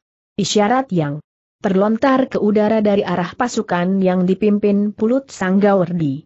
Panah api desis empu purung. Putut kuda Widarba dan para cantrik terkejut karenanya. Panah api itu berasal dari pasukan yang dipimpin oleh Putut Sanggawardi yang seharusnya menunggu isyarat untuk menyerang dari arah belakang. Ada yang kurang wajar telah terjadi desis empuk perung, mungkin kita semuanya sudah tertipu. Prajurit Singasari ternyata sangat licik. Apa yang sudah terjadi bertanya Putut Kuda Widarba. Aku tidak tahu.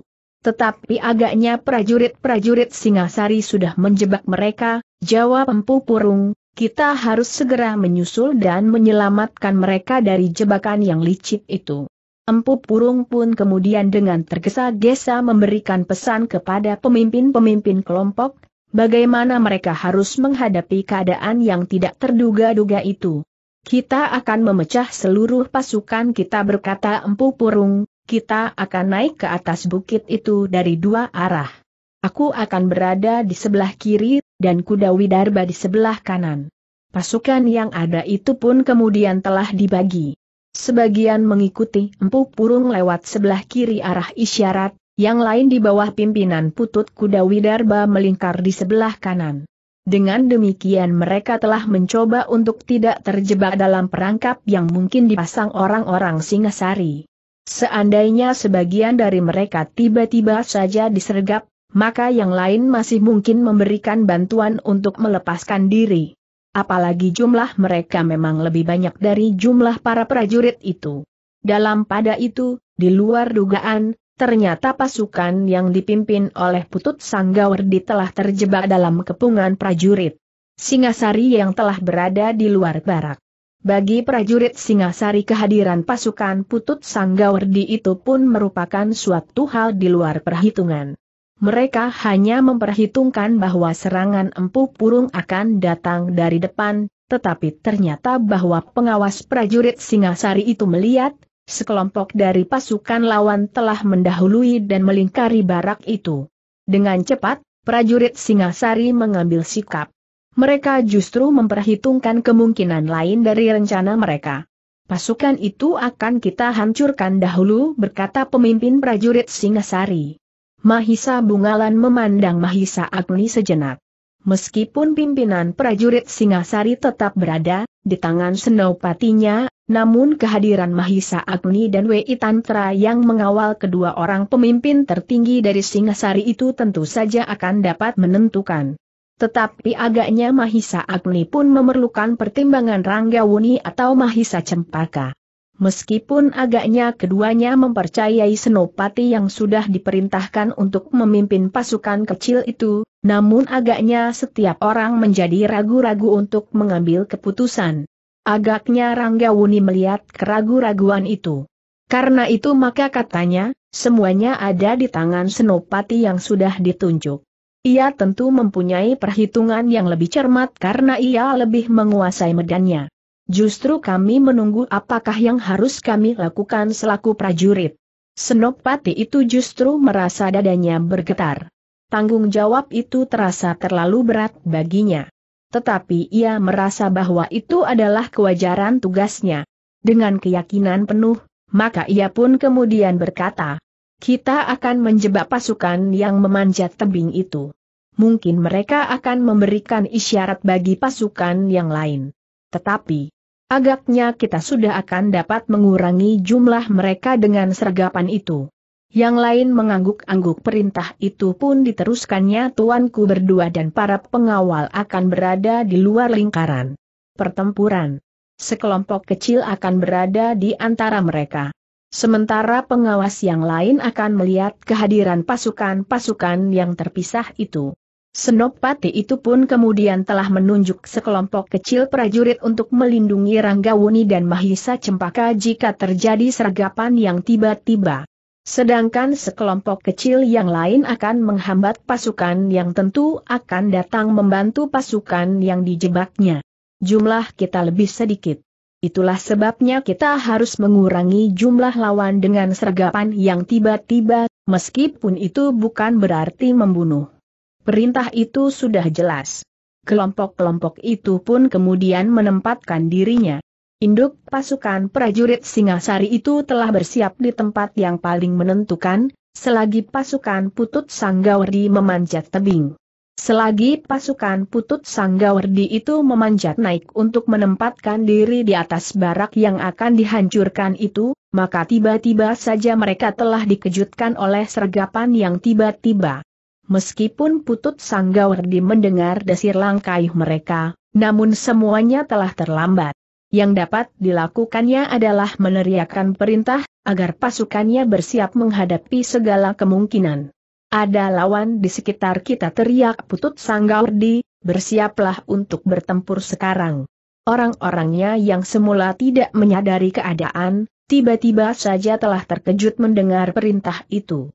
Dengan serta-merta mereka menarik senjata dalam genggaman. Dan sekejap kemudian, yang dikatakan oleh Putut Sanggawardi itu pun lelah terjadi. Belum lagi orang-orang di dalam pasukan Putut Sanggawardi itu menyadari apa yang telah mereka hadapi, tiba-tiba saja prajurit Singasari telah menyergap mereka dari segala penjuru. Sejenak kemudian pertempuran pun telah terjadi. Ternyata bahwa prajurit Singasari tidak hanya berjumlah 20 atau 25 seperti yang mereka duga. Sebenarnya lah prajurit Singasari yang berada di barak itu telah bergabung dengan prajurit-prajurit cadangannya, sehingga jumlah mereka telah menjadi berlipat dari jumlah yang diperkirakan oleh Pampu Purung. Namun demikian jumlah itu masih jauh lebih sedikit dari jumlah orang-orang Empu Purung dalam keseluruhan. Karena itulah, maka adalah kebetulan sekali bagi prajurit Singasari bahwa Empu Purung telah memecah pasukannya. Putut Sanggawardi telah bertempur dengan gigihnya. Dengan dahsyatnya ia mengayunkan senjatanya menyerang orang-orang yang terdekat. Namun, yang dihadapi oleh Putut Sanggawardi dan anak buahnya itu adalah prajurit-prajurit Singasari.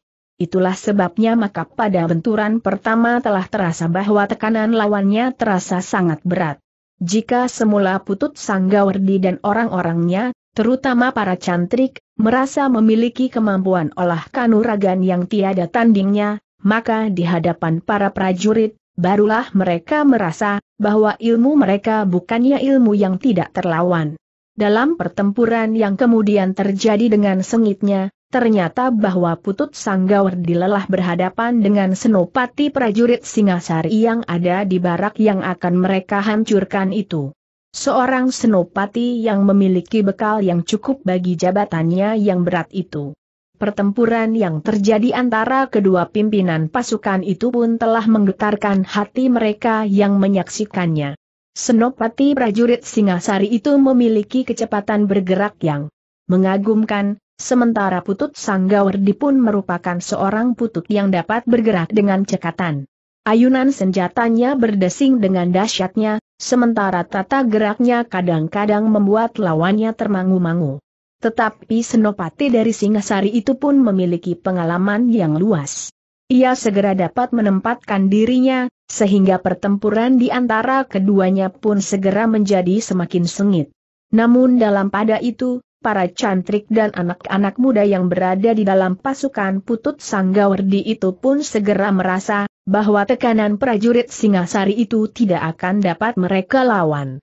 Karena itulah maka mereka pun segera melepaskan isyarat bagi pasukan yang dipimpin langsung oleh Empu Purung dan Butut Kuda Widarba, yang jumlahnya lebih banyak dari pasukan yang dipimpin oleh Putut Sanggawardi itu. Namun isyarat yang dilepaskan ke udara itu, telah memberikan perintah pula kepada prajurit Singasari agar segera menyelesaikan tugasnya. Mereka sadar bahwa isyarat itu merupakan undangan bagi hadirnya kekuatan yang lain, yang mungkin lebih besar jumlahnya. Dalam pada itu, pasukan cadangan yang sudah dipersiapkan untuk menunggu kedatangan bantuan itu pun telah bersiaga sepenuhnya. Mereka justru berusaha menyongsong pasukan lawan yang tentu akan memanjat tebing mendekati arena pertempuran itu tetapi jumlah kelompok cadangan itu terlalu kecil untuk melawan pasukan yang besar yang akan segera datang. Sementara itu Empu Purung dengan tergesa-gesa telah mendekati Arna. Dari arah yang lain Putut Widarba pun lelah merayap pula naik bersama pasukannya pula. Namun dalam pada itu, ternyata bahwa prajurit-prajurit Singasari telah berhasil melumpuhkan sebagian besar dari lawannya para cantrik dan anak-anak muda yang bertempur dengan kasar itu telah terdesak.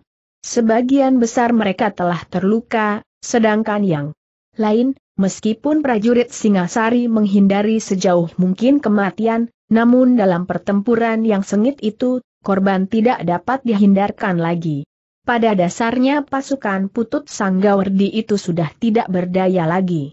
Mereka sudah berputus asa, sementara Putut Sanggawardi sendiri sudah terdesak. Ia pun tidak mempunyai harapan lagi untuk memenangkan pertempurannya melawan Senopati prajurit Singasari itu. Dengan putus asa, hampir saja Putut Sanggawardi meneriakkan aba-aba agar pasukannya yang masih tersisa melarikan diri dari Arna, lah merasa bahwa agaknya isyarat yang diberikan oleh anak buahnya, tidak terlihat oleh Pempu Purung yang sama sekali tidak menyangka, bahwa justru merekalah yang harus memanjat naik.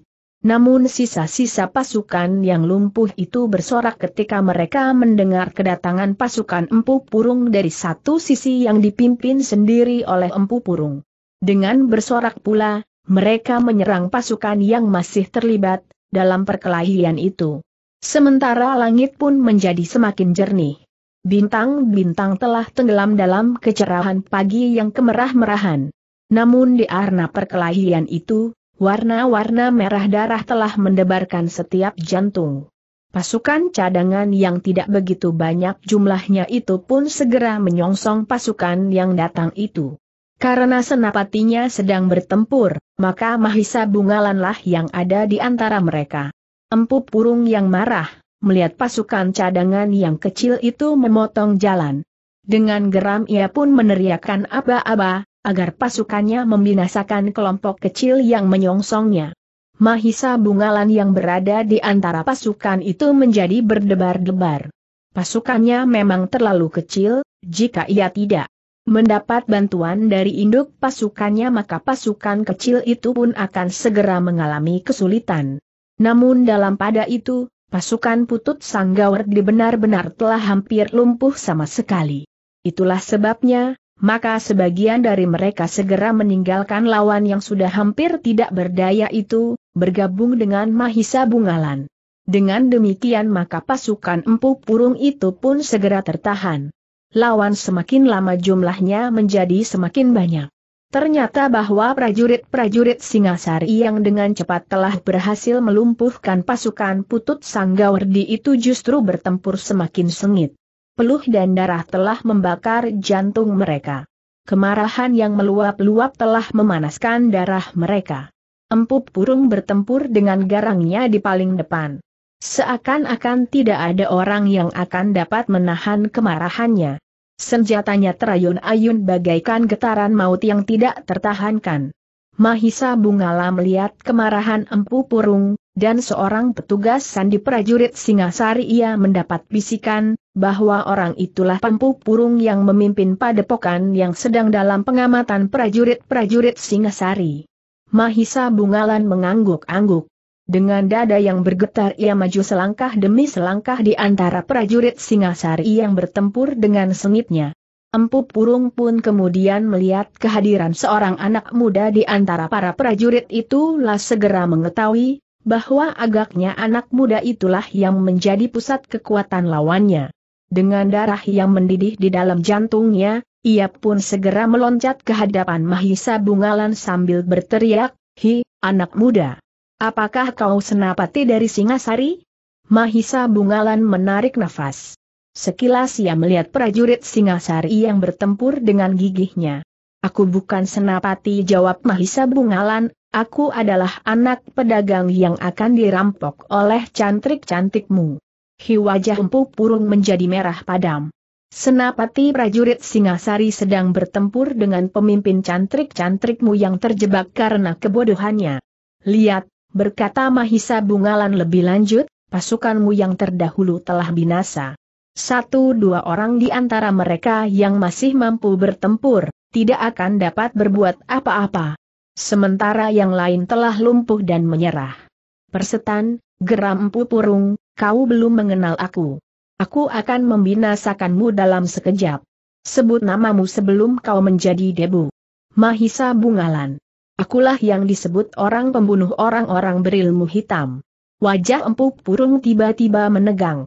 Dipandanginya wajah Mahisa Bungalan sejenak. Namun kemudian ia menggeram, bersetan dengan Mahisa Bungalan. Aku akan membunuhmu. Mahisa Bungalan termangu-mangu sejenak, lah melihat sorot mata empu purung yang membara.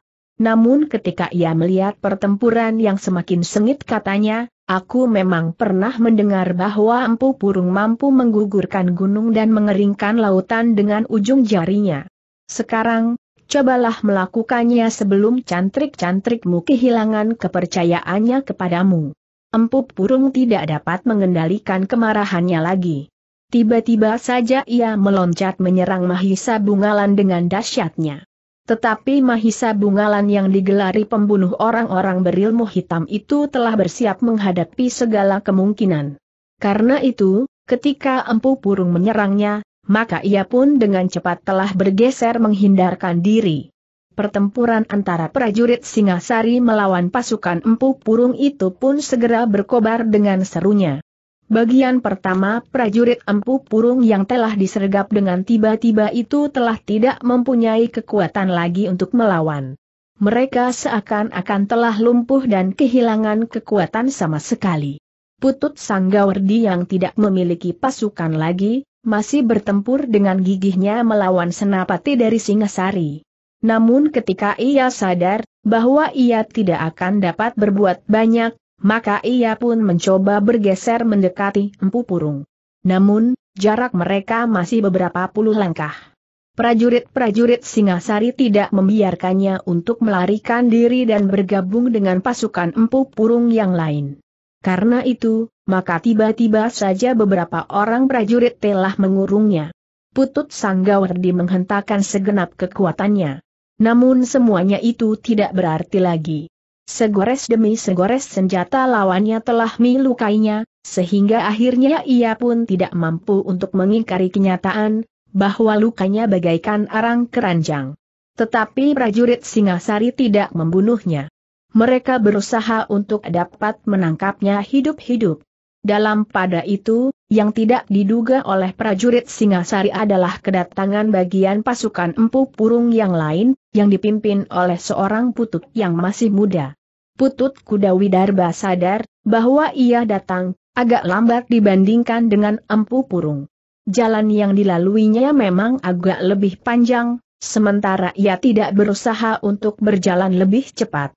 Namun dengan demikian ia berharap bahwa kedatangannya akan dapat mengejutkan lawannya yang sudah terlanjur menumpahkan semua kekuatannya untuk melawan Empu Purung.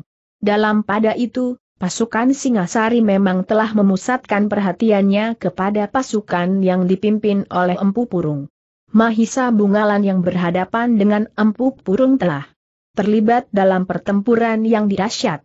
Masing-masing memiliki kelebihan dari orang kebanyakan, sehingga karena itulah maka benturan kekuatan antara keduanya bagaikan benturan antara dua buah gunung. Empu Purung ternyata benar-benar seorang yang memiliki ilmu kanuragan yang tinggi.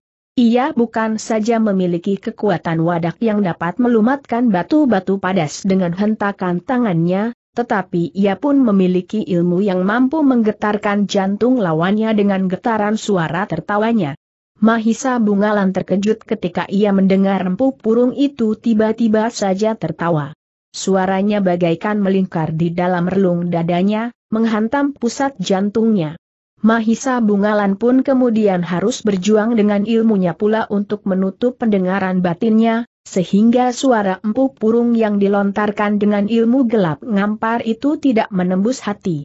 Karena Mahisa Bungalan agaknya tidak terpengaruh oleh suara tertawanya, maka empu purung pun terpaksa menghentikannya. Apalagi karena Mahisa Bungalan justru memperdahsyat serangannya pada saat Empu Purung memusatkan segenap kekuatannya lahir dan batin pada lontaran ilmunya gelap ngampar. Mahisa Bungalan pun ternyata telah mempelajari bagaimana ia menghadapi ilmu seperti yang dilontarkan oleh Empu Purung lewat getaran di dalam dirinya yang mampu menyangkut di pendengaran batin seseorang. Dengan menyesuaikan tingkat getarannya, maka Empu Purung mampu menyerang lawannya dengan suaranya. Bahkan bukan saja tertuju kepada seseorang. Ia dapat mencari dengan pertimbangan rabaannya berdasarkan atas ilmunya, lapisan yang paling tepat untuk menyerang pada tataran yang berbeda-beda. Tetapi ternyata bahwa ia tidak dapat mempergunakannya untuk melemahkan perlawanan prajurit-prajurit Singasari, justru karena Mahisa Bungalan. Ketika Mahisa Bungalan menyadari bahwa suara tertawa lawannya itu dapat berbahaya bagi prajurit Singasari di sekitarnya, maka ia pun langsung berusaha untuk menghentikan sumber getaran yang menusuk-nusuk hati itu. Serangannya yang bagaikan angin praharat telah merusakkan pemusatan ilmu empu purung untuk mendapatkan cukup kekuatan bagi usahanya untuk menggoncangkan isi dada lawannya.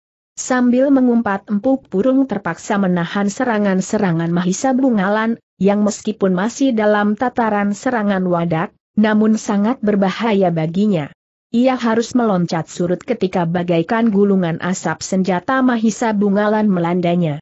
Sementara itu, Putut Kuda Widarba telah membuat kejutan baru bagi prajurit Singasari. Dalam pertempuran yang sengit, maka Senapat yang memimpin pasukan Singasari itu menjadi agak bingung. Ketika lawannya, Putut Sanggawardi tidak berdaya lagi, dan dalam keadaan luka parah ia telah menjadi tawaran, maka Senapati itu telah menceburkan diri dalam pertempuran yang sengit, melawan anak buah empu purung yang langsung dipimpinnya itu.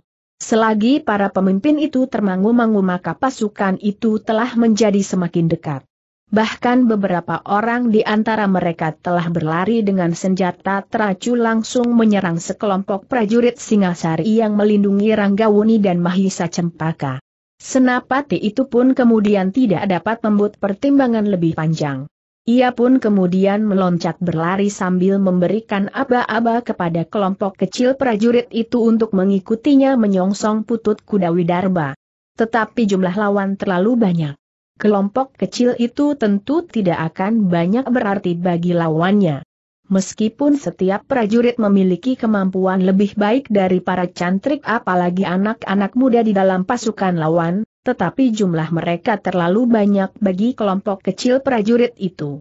Sementara itu prajurit-prajurit yang lain masih terlibat dalam pertempuran yang sengit, yang jumlahnya pun cukup banyak untuk mengikat para prajurit Singasari dalam pertempuran itu. Sementara itu, ternyata Ranggawuni dan Mahisa Cempaka telah menjadi gelisah. Jika semula mereka memandang pertempuran dengan hati yang berkembang melihat kemenangan-kemenangan yang dicapai oleh prajuritnya, maka kini mereka menjadi gelisah, apakah prajurit Singasari akan dapat bertahan. Paman desisnya di telinga Mahisa Agni, apakah kita akan tetap bersilang tangan, sementara darah prajurit kita sudah mulai mengalir? Tetapi sebaiknya tuanku berdua tidak ikut terlibat dalam pertempuran ini. Biarlah prajurit-prajurit itu berusaha untuk menyelesaikan tugas mereka. Aku kira mereka akan dapat mengatasi keadaan. Rangga Wuni mengerutkan keningnya. Ia memandang prajurit-prajuritnya yang bertempur mati-matian, sementara yang lain telah mulai terlibat dalam pertempuran melawan para cantrik dan anak-anak muda yang dipimpin oleh Putut Kuda Widarba. Paman Mahisa Agni berkata Ranggawuni, apakah menurut perhitungan Paman, prajurit-prajurit yang sedikit sekali jumlahnya itu akan dapat bertahan? Memang terlalu berat tuanku. Tetapi sebaiknya tuanku berdua tetap berada di dalam pengawalan beberapa orang prajurit. Biarlah aku, Witantra, Mahendra dan pengawal yang lain melibatkan diri dalam pertempuran itu. Ranggawuni dan Mahisa Cempaka saling berpandangan sejenak. Namun mereka tidak mau terlibat dalam pembicaraan yang berkepanjangan justru saat pertempuran sudah membakar seluruh arna. Baiklah Paman berkata Ranggawuni, aku dan Mahisa Cempaka akan tetap berada di sini. Mahisa Agni menarik nafas panjang. Kemudian dia diperintahkannya tiga orang prajurit untuk tetap tinggal bersama dengan Ranggawuni dan Mahisa Cempaka. Selain tiga orang prajurit itu, Mahisa Murti dan Mahisa Pukat pun diperintahkannya menemani kedua orang pemimpin tertinggi pemerintahan Singasari itu. Sesaat Masa Agni memandang pertempuran yang sudah menjalar ke segala sudut arena. Sekelompok kecil prajurit yang menahan pasukan yang dipimpin oleh putut kuda W.I. Darba itu pun segera terdesak, karena jumlah mereka sama sekali tidak seimbang. Marilah berkata Mahisa Agni, mumpung korban belum jatuh. Witantra dan Mahendra tidak menyaut. Ketiga orang-orang tua itu pun kemudian dengan tergesa-gesa menerjunkan diri ke dalam arena pertempuran. Kehadiran mereka mula-mula telah mengejutkan senapati prajurit Singasari yang memimpin sekelompok kecil pasukannya. Namun ia sadar, bahwa ketiga orang itu adalah orang-orang yang luar biasa, sehingga meskipun mereka hanya bertiga tetapi kemampuan mereka melampaui sekelompok prajurit-prajurit pilihan. Demikianlah, maka kehadiran Witantra, Mahendra dan Mahisa Agni telah mempengaruhi arna pertempuran itu. Namun demikian, karena jumlah lawan yang jauh lebih banyak maka di bagian lain dari arna itu, prajurit Singasari masih mengalami kesulitan. Dan itulah sebabnya, maka Mahisa Agni, Witantra dan Mahendra telah mempergunakan cara yang lain untuk mengurangi kegelisahan para prajurit. Mereka tidak bertempur di satu tempat melawan lawan yang menyerang mereka. Tetapi mereka bagaikan burung elang yang berterbangan di langit yang biru. Sekali-kali menyambar, kemudian terbang tinggi di sela-sela awan. Kehadiran Mahisa Agni, Wei Tantra dan Mahendra meskipun hanya bertiga, ternyata telah membuat lawan mereka menjadi bingung. Beberapa orang cantrik yang memiliki kemampuan melampaui anak-anak muda yang lain, berusaha berada di dalam kelompok-kelompok kecil untuk menahan serangan-serangan yang dahsyat. Itu. Tetapi tiba-tiba saja ketiga orang-orang tua itu telah bersama-sama menyerang, sehingga kelompok kecil itu pun telah terpecah bercerai-berai. Gila geram putut kuda Widarba. Namun ia tidak dapat berbuat banyak, karena senapati yang telah berhasil melumpuhkan putut Sanggawardi itu telah berada di dalam libatan perkelahian melawannya. Dalam pada itu, di arna yang lain, yang langsung berada di bawah pimpinan Empu Purung dan Mahisa Bungalan, pertempuran pun berlangsung dengan sengitnya. Meskipun pasukan Empu Purung jumlahnya lebih banyak dari prajurit Singasari namun imbangannya tidak seperti di Arna yang lain, sehingga prajurit Singasari yang pada dasarnya memiliki kemampuan dan pengalaman yang lebih besar, segera mampu menguasai keadaan. Sementara itu Empu Purung sendiri ternyata terlibat dalam pertempuran yang sengit melawan Mahisa Bungalanlah tidak mendapat kesempatan untuk membantu pasukannya dengan caranya, dengan ilmu-ilmunya yang dapat dilontarkan lewat berbagai macam cara, bukan saja dengan wadaknya setiap ia berusaha membangunkan ilmu yang dapat dilontarkan lewat suaranya, Mahisa Bungalan telah menyerang dengan dahsyatnya, sehingga ia harus memusatkan perlawanannya terhadap serangan-serangan wadah Mahisa Bungalan yang dapat membahayakan jiwanya. Sebenarnya lah Mahisa Bungalan pun telah hampir sampai ke puncak ilmunya. Ia masih belum berusaha mengakhiri pertempuran karena ia memang sedang menjajagi kemampuan lawannya, yang agaknya masih membagi perhatiannya antara Mahisa Bungalan dan usahanya membantu orang-orangnya. Namun Mahisa Bungalan pun sadar, jika sampai saatnya, lawannya mengerahkan puncak ilmunya, maka ia pun harus berjuang dengan segenap ilmu yang ada padanya. Dalam pada itu, Ranggawuni dan Mahisa Cempaka yang muda itu menjadi kian gelisah. Ketika ia melihat Mahisa Murti dan Mahisa Pukat menggeretakkan giginya, maka Ranggawuni pun berkata, apakah kita akan tetap berdiam diri? Prajurit yang mendengar gumam itu pun segera menyahut, ampun tuanku. Sebaiknya tuanku tetap berada di luar pertempuran yang sedang menyala itu. Ranggawuni mendekati prajurit itu sambil tersenyum. Katanya, terima kasih. Tetapi aku berpendirian lain. Prajurit itu termangu-mangu. Ia tidak segera mengetahui maksud Ranggawuni yang tidak dalam pakaian kebesaran sebagai seorang maharaja di Singasari. Tetapi Ranggawuni yang berpakaian seperti orang kebanyakan itu berkata, aku akan ikut serta dalam pertempuran itu. Jangan tuanku. Tuanku adalah Maharaja di Singasari. Seharusnya tuanku tidak ikut dalam pertempuran itu? Seorang raja adalah seorang panglima, dan seorang maharaja adalah seorang panglima agung. Meskipun aku bukan senopati yang memimpin pasukan Singasari di daerah ini, tetapi karena aku juga seorang prajurit, maka aku wajib ikut serta dalam pertempuran sekarang ini. Tuanku memang seorang prajurit. Tetapi tuanku juga seorang maharaja di sini tidak ada lawan yang pantas bagi tuanku, sehingga jika terjadi kecelakaan kecil atas tuanku, maka hal itu akan dapat menyuramkan wibawa tuanku. Ranggawuni tersenyum. Katanya, aku tidak dalam kedudukanku sebagai seorang maharaja. Atau katakanlah aku siapa saja. Tetapi aku ingin ikut membantu prajurit Singasari yang berada dalam kesulitan. Aku, Adinda Mahisa Cempaka beserta kedua putra Paman Mabendra akan dapat menambah kekuatan Singasari yang terdesak di satu sudut pertempuran itu. Masih ditambah lagi kalian bertiga. Nah, dengan demikian, keseimbangan pertempuran itu segera akan berubah. Ranggawuni berhenti sejenak sambil memandang ke arna pertempuran. Pasukan yang berada di bawah pimpinan Mahisa Bungalan yang langsung bertempur melawan Empu Purung itu nampaknya tidak begitu sulit. Tetapi pasukan yang melawan pasukan Empu Purung yang di bawah pimpinan Putut Muda itu, agaknya telah mengalami tekanan yang sangat besar meskipun setiap saat Mahisa Agni, Witantra dan Mahendra hadir di sekitar mereka dan agak memperingan tekanan itu. Tetapi ternyata bahwa lawan memang terlalu banyak. Dalam pada itu, ternyata bahwa prajurit-prajurit yang mengawal Ranggawuni tidak lagi dapat mencegah keinginannya untuk terjun ke dalam arna. Bahkan ketika prajurit itu masih saja menahannya, Ranggawuni berkata, dengarlah perintahku, Maharaja Singasari. Ikutlah aku terjun ke dalam pertempuran itu. Prajurit-prajurit yang mengawalnya tidak dapat berbuat apa-apa.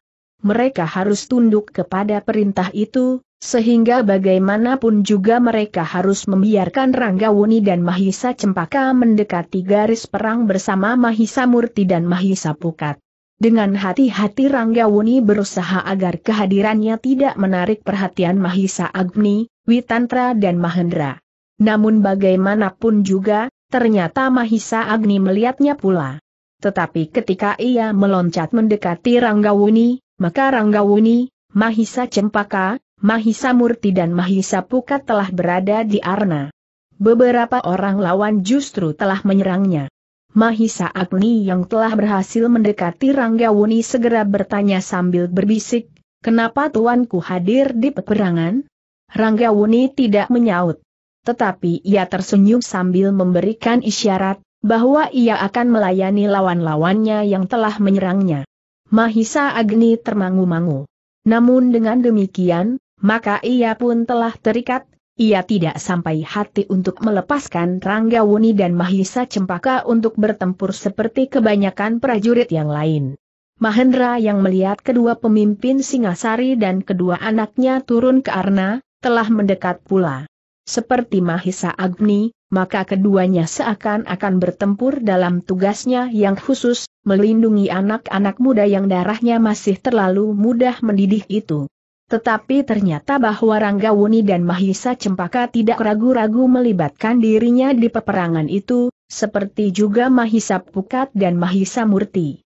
Dengan tengadah mereka langsung menusuk ke dalam induk pasukan lawan, disertai oleh ketiga prajurit pengawalnya dengan dibayangi oleh Mahisa Agni dan Mahendra. Sementara itu, Witantra masih tetap memelihara keseimbangan di sudut yang lain.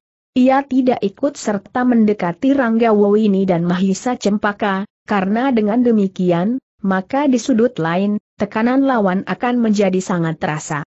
Kehadiran Rangga Wuni dan beberapa orang lain di Arna itu benar-benar telah merubah keadaan.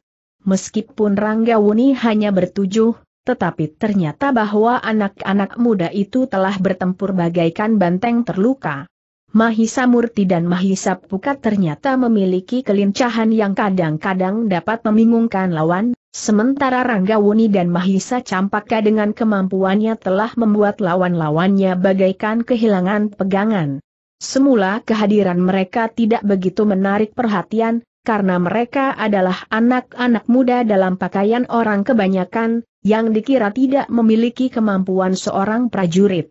Tetapi selelah anak-anak muda itu bertempur beberapa saat maka ternyata kemampuan mereka telah benar-benar mengejutkan.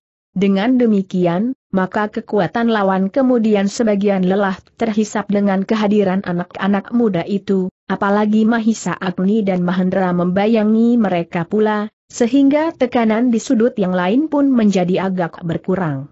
Witantra yang masih bertempur seperti burung elang, banyak pula menumbuhkan persoalan di pihak lawan.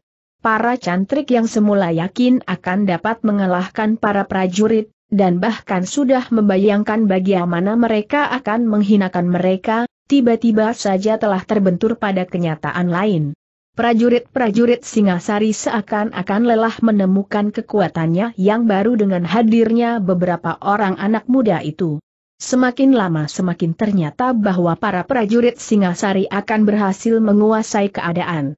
Mahisa Agni yang berada di dalam satu kelompok bersama Mahendra dan anak-anak muda itu, seakan-akan merupakan kelompok hantu yang lapar, yang menyebarkan maut di segenap penjuru. Setiap sudut yang mereka dekati, maka nafas kematian bagaikan dihembuskan di udara di atas sarana pertempuran itu. Empu Purung yang bertempur di bagian lain Mi lawan Mahisa Bungalan pun menjadi gelisah. Perhitungannya atas kekuatan Singasari ternyata lelah keliru. Usahanya memecah pasukannya yang akan menyerang barak dari bagian depan dan bagian belakang, ternyata telah menjebak pasukannya sendiri. Pasukan yang dipimpin Putut Sanggawardi telah dihancurkan oleh prajurit Singasari yang jumlahnya ternyata lebih banyak dari 20 orang saja, karena Empu Purung tidak mengetahui adanya pasukan cadangan yang tersembunyi. Selebihnya Empu Purung tidak memperhitungkan orang-orang yang memiliki kemampuan lebih dari sekelompok kecil prajurit Singasari seperti lawan yang sedang dihadapinya, Mahisa Agni dan kelompok mautnya, Witantra dan kemampuan prajurit Singasari yang seorang demi seorang jauh berada di atas kemampuan anak-anak muda yang sedang belajar olah kanuragan di padepokanan Empu Purung. Namun Empu Purung masih mempunyai harapan. Ia ingin membinasakan Mahisa Bungalan, sehingga dengan demikian, maka ia akan dapat mengitari seluruh harna, karena Empu Purung pun masih belum mendapatkan ukuran kemampuan lawannya yang sebenarnya. Tetapi Mahisa Bungalan ternyata tidak segera dapat dikalahkan. Bahkan ketika pertempuran itu menjadi semakin sengit, tandang Mahisa Bungalan pun menjadi semakin mantap. Tangannya yang basah oleh keringat, bagaikan mendapatkan kekuatan baru yang dahsyat untuk mengayunkan senjatanya. Namun Empu Purung pun memiliki kemampuan yang tinggi. Sudah beberapa kali ia mengatakan kepada para cantrik, bahwa ia mampu menggugurkan gunung dan mengeringkan lautan dengan jari-jarinya. Meskipun tidak sebenarnya demikian yang dimaksudkannya, namun Empu Purung memang mempunyai ilmu yang maha dahsyat ia mampu memecahkan jantung lawan dengan suara tertawanya. Tetapi di hadapan Mahisa Bungalan ia tidak mendapat kesempatan untuk memusatkan kemampuan ilmunya itu.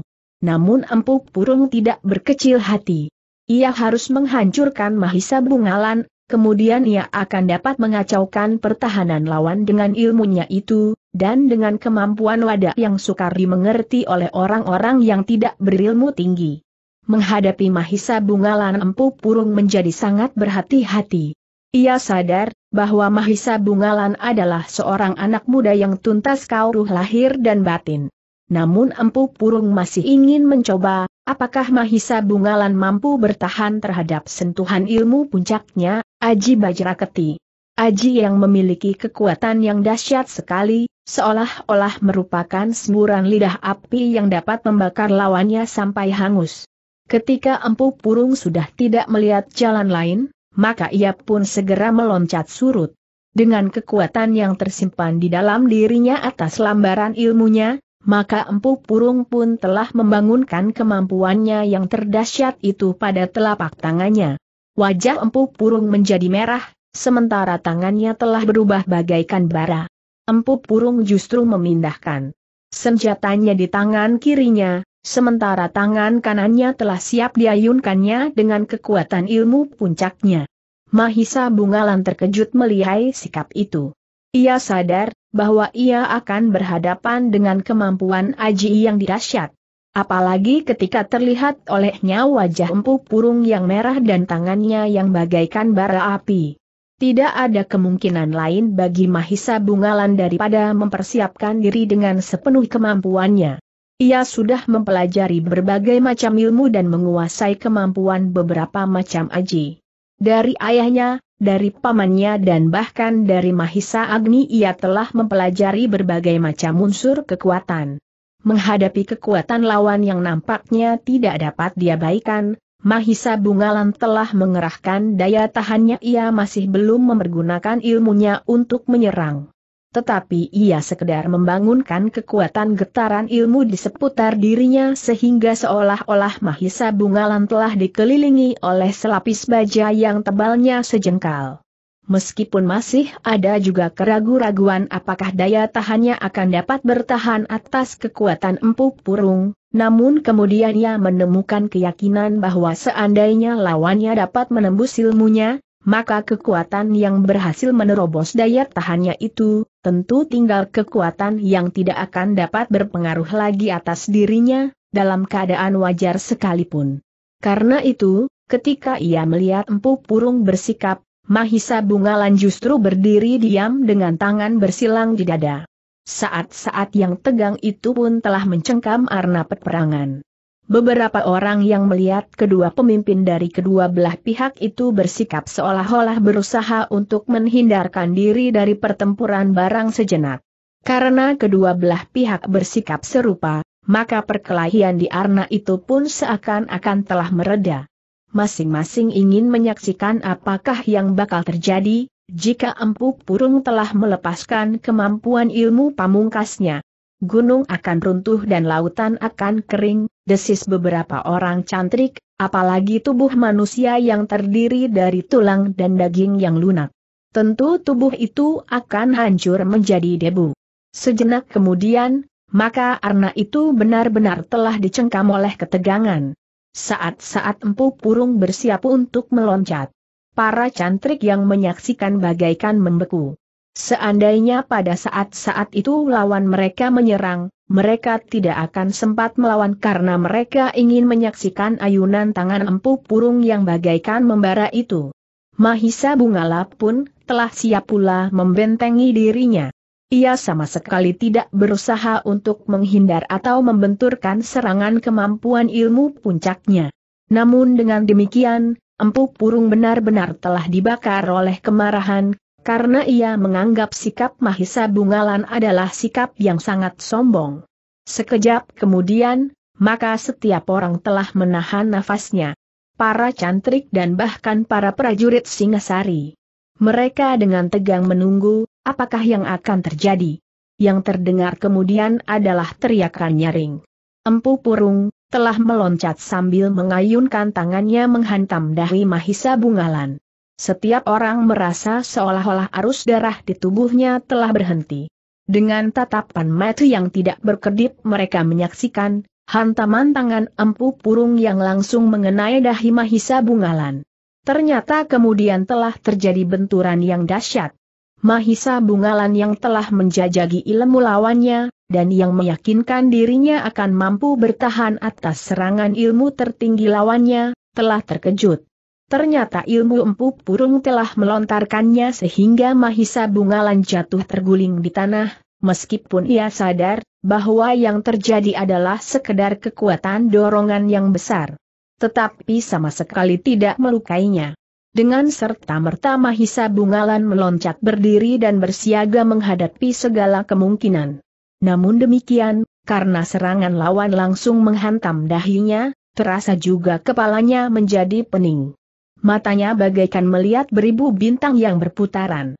Dengan mengerahkan daya lahir dan batinnya, Mahisa Bungalan telah berdiri tegak untuk menghadapi setiap serangan yang bakal datang. Tetapi ternyata bahwa Empu Purung tidak dapat menyerangnya dengan serta-merta. Benturan serangan kekuatan puncaknya atas perlindungan kekuatan yang melindungi tubuh Mahisa Bungalan telah menghentakkannya. Tangannya yang memukul dahi Mahisa Bungalan rasa-rasanya bagaikan menghantam besi baja, sehingga justru karena itu, ia pun telah terpental beberapa langkah surut. Namun perasaan sakit yang tidak terhingga telah menyengat tangannya yang membara. Ternyata bahwa kekuatan puncaknya tidak berhasil menembus daya tahan Mahisa Bungalan, meskipun ia berhasil melemparkan Mahisa Bungalan sehingga jatuh terguling. Meskipun demikian, Empu Purung itu pun sadar, bahwa ia telah berhasil mendorong kekuatan Mahisa Bungalan. Itulah sebabnya, maka ia pun segera berusaha memusatkan kemampuannya pada ilmunya kembali. Ia ingin melepaskan aji puncaknya itu sekali lagi, pada saat ketahanan ilmu Mahisa Bungalan belum sepenuhnya dapat dibangunkan kembali. Namun agaknya Mahisa Bungalan pun menyadari. Ia tidak mau dilemparkan sekali lagi oleh lawannya. Jika pemusatan daya tahannya belum sampai ke puncaknya, maka serangan yang sama akan dapat meretakan tulang kepalanya. Itulah sebabnya, maka Mahisa Bungalan tidak mau lagi sekedar bertahan saja menghadapi Empu Purung. Pada saat Empu Purung mempersiapkan serangannya yang kedua, maka Mahisa Bungalan pun telah bersiap pula. Sementara itu, orang-orang yang menyaksikan benturan kekuatan itu pun rasa-rasanya lelah membeku. Kepala mereka menjadi pening, seolah-olah kepala mereka lah yang telah membentur kekuatan tangan Empu Purung. Namun dalam pada itu, para cantrik pun telah dihinggapi oleh keheranan yang tajam, melihat Mahisa Bungalan yang masih mampu bangkit dan bersiap untuk bertempur. Mereka mengira bahwa kepalanya tentu akan pecah, seperti pecahnya pintu gerbang barak para prajurit Singasari. Apalagi serangan itu telah dilambari oleh kekuatan yang tentu lebih dipersiapkan. Agaknya Empu Purung menganggap lawannya terlampau lemah berkata para cantrik, sehingga ia tidak mengerahkan seluruh kemampuannya. Ya, dan agaknya Empu Purung akan mengulanginya. Yang kedua itulah yang akan menentukan. Anak itu tentu tidak hanya sekedar terlempar dan terbanting jatuh. Tetapi ia akan pecah menjadi potongan tulang, dan seonggok daging yang akan menjadi makanan binatang buas di malam hari. Sekali lagi ketegangan telah memuncak. Para prajurit Singasari pun menjadi ragu-ragu terhadap kemampuan daya tahan Mahisa Bungalan. Sejenak kemudian arna pertempuran itu telah dicengkam oleh suasana yang tegang. Kedua orang yang berhadapan itu telah memusatkan segenap ilmunya. Ternyata bahwa Empu Purung tidak berbasil menyerang saat-saat Mahisa Bungalan masih belum siap melawannya. Justru nampaknya Mahisa Bungalan telah mendahului lawannya, bersiap untuk bukan saja bertahan, tetapi bahkan menyerang. Sesaat kemudian, maka setiap jantung rasa-rasanya telah berhenti berdetak.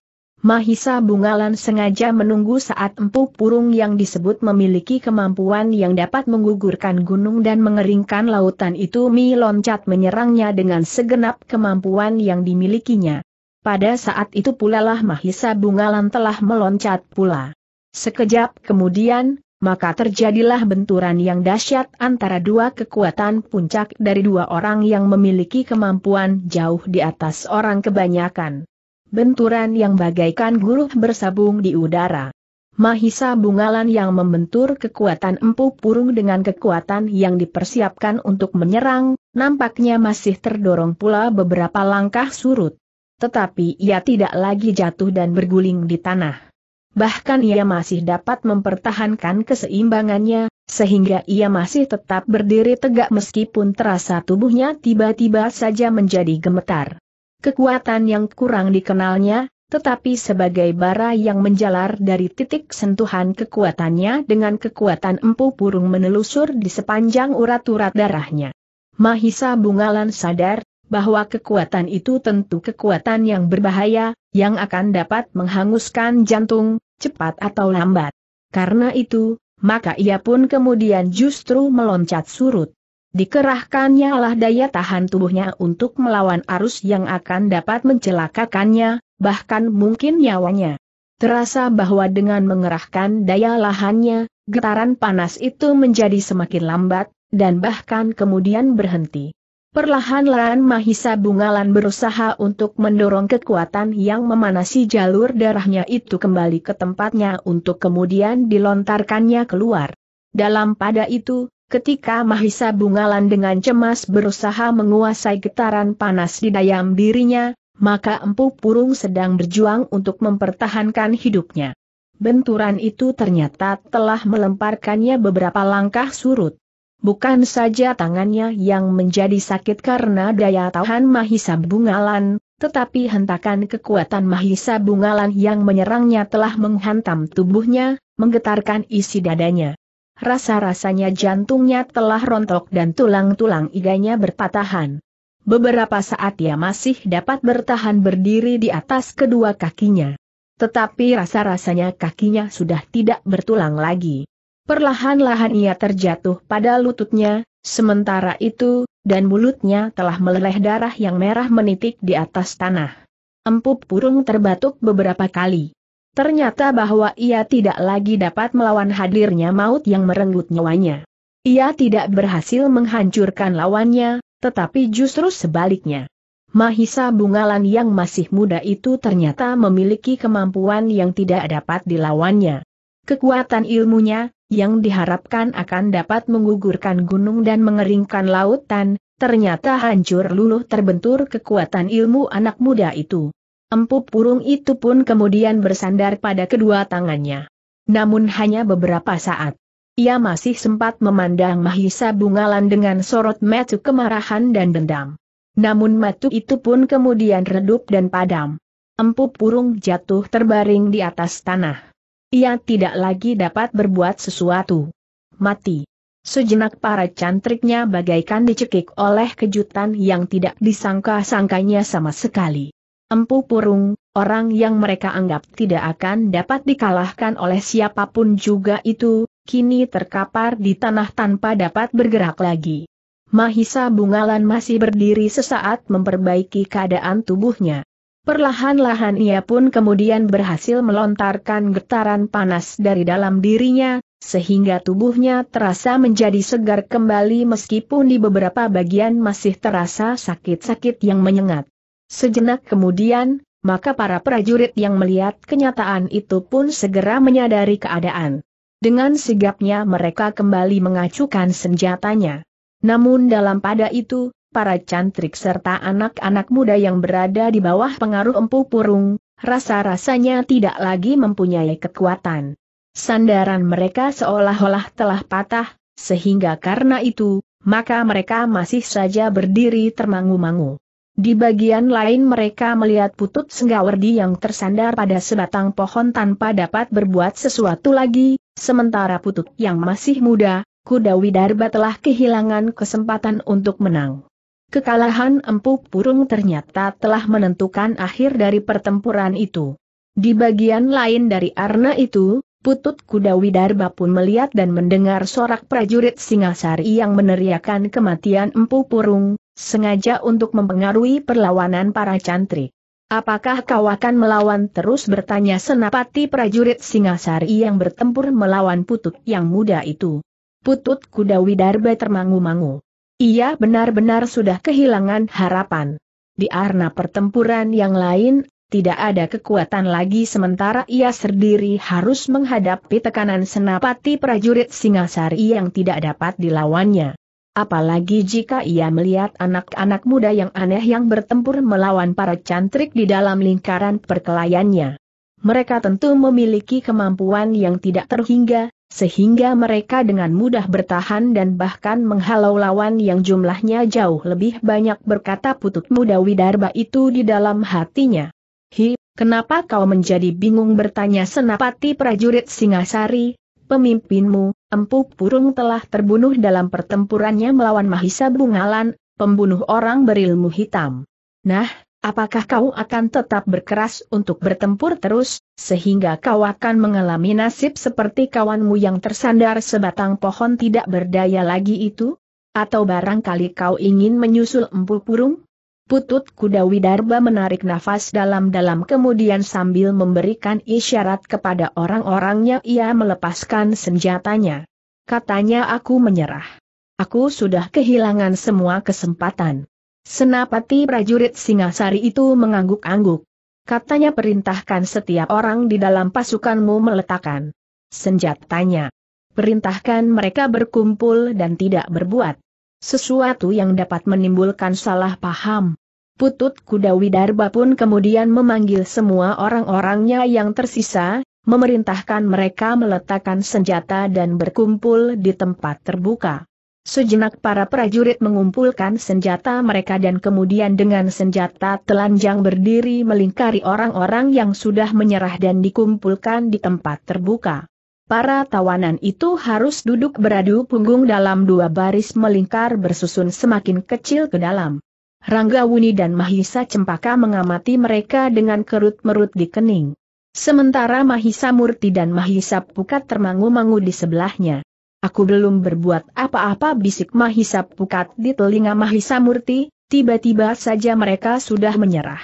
Ternyata Rangga Wuni yang juga masih muda itu mendengarnya.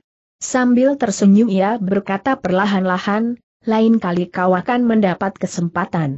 Tetapi di tempat yang lain. Mahisa Pukat mengerutkan keningnya. Namun wajahnya yang kemerah-merahan itu pun tertunduk dalam-dalam. Mahisa Agni yang kemudian berdiri di sebelah para tawanan itu pun memberikan sedikit keterangan tentang peristiwa yang baru saja terjadi, ia berusaha untuk menyentuh perasaan tawanan-tawanannya, bahwa yang mereka lakukan selama itu adalah langkah yang keliru. Ternyata sebagian besar dari mereka tidak tahu pasti apakah yang sebenarnya mereka lakukan. Namun dengan demikian mereka menyadari, bahwa langkah mereka adalah langkah yang sebenarnya sangat berbahaya. Tugas kami sudah selesai di tempat ini. Tetapi belum di tempat lain berkata Mahisa Agni, karena Empu Baladatu telah mempersiapkan tindakan-tindakan serupa dengan banyak tempat.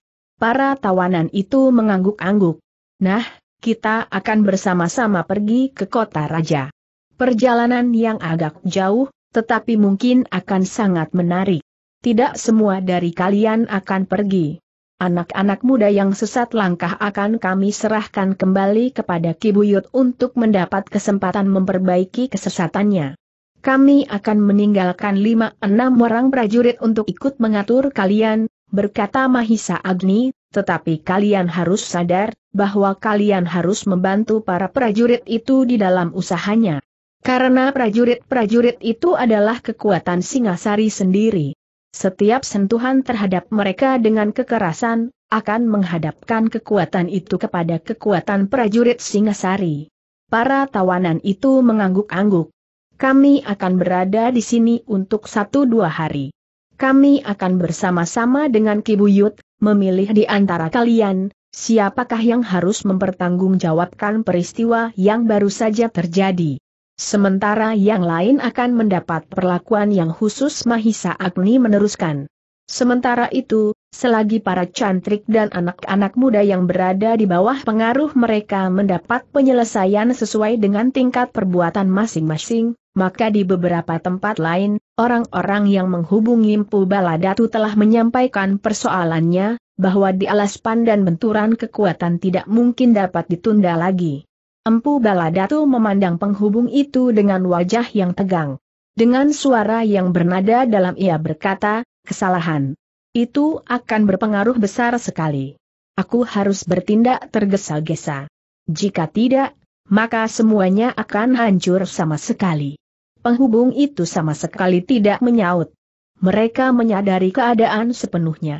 Apalagi ketika kemudian Empu Baladatu memberikan alasan-alasan yang masuk akal atas rencana yang besar. Tetapi itu sudah terjadi geram Empu Baladatu, Kekasaran sifat empu purung dan cantrik-cantriknya telah menyeret aku ke dalam kesulitan. Aku sekarang harus menyesuaikan diri. Semua persiapan harus dipercepat, dan gerakan dalam keseluruhan harus mulai mengguncang Singasari meskipun rencana di dalam keseluruhan belum masak.